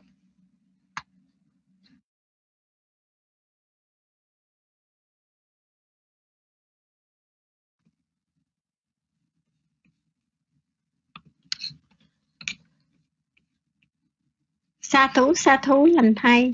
Xin thay mặt đại chúng trong room, chúng con kính tri ân chư tôn đức đã mở lòng bi mẫn giảng dạy những giáo nghĩa vi diệu của Đức Phật để toàn thể chúng con được lắng nghe, ghi nhớ và hành trì trong tôn chỉ, không làm các ác nghiệp, huân tu các hạnh lành, thanh tịnh hóa tâm ý như lời chư Phật dạy. Kính cảm ơn quý ốp đã yểm trợ cho các phần hành trong lớp học được hoàn tất mỹ mãn. Chúng con kính chúc chư Tôn Đức và quý đạo hữu luôn an lạc các tường trong chánh pháp nhiệm màu của Đức Thế Tôn.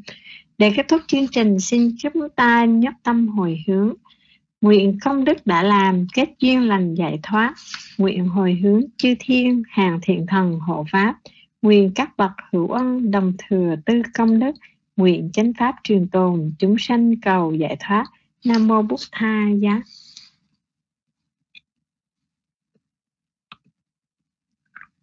Mm-hmm.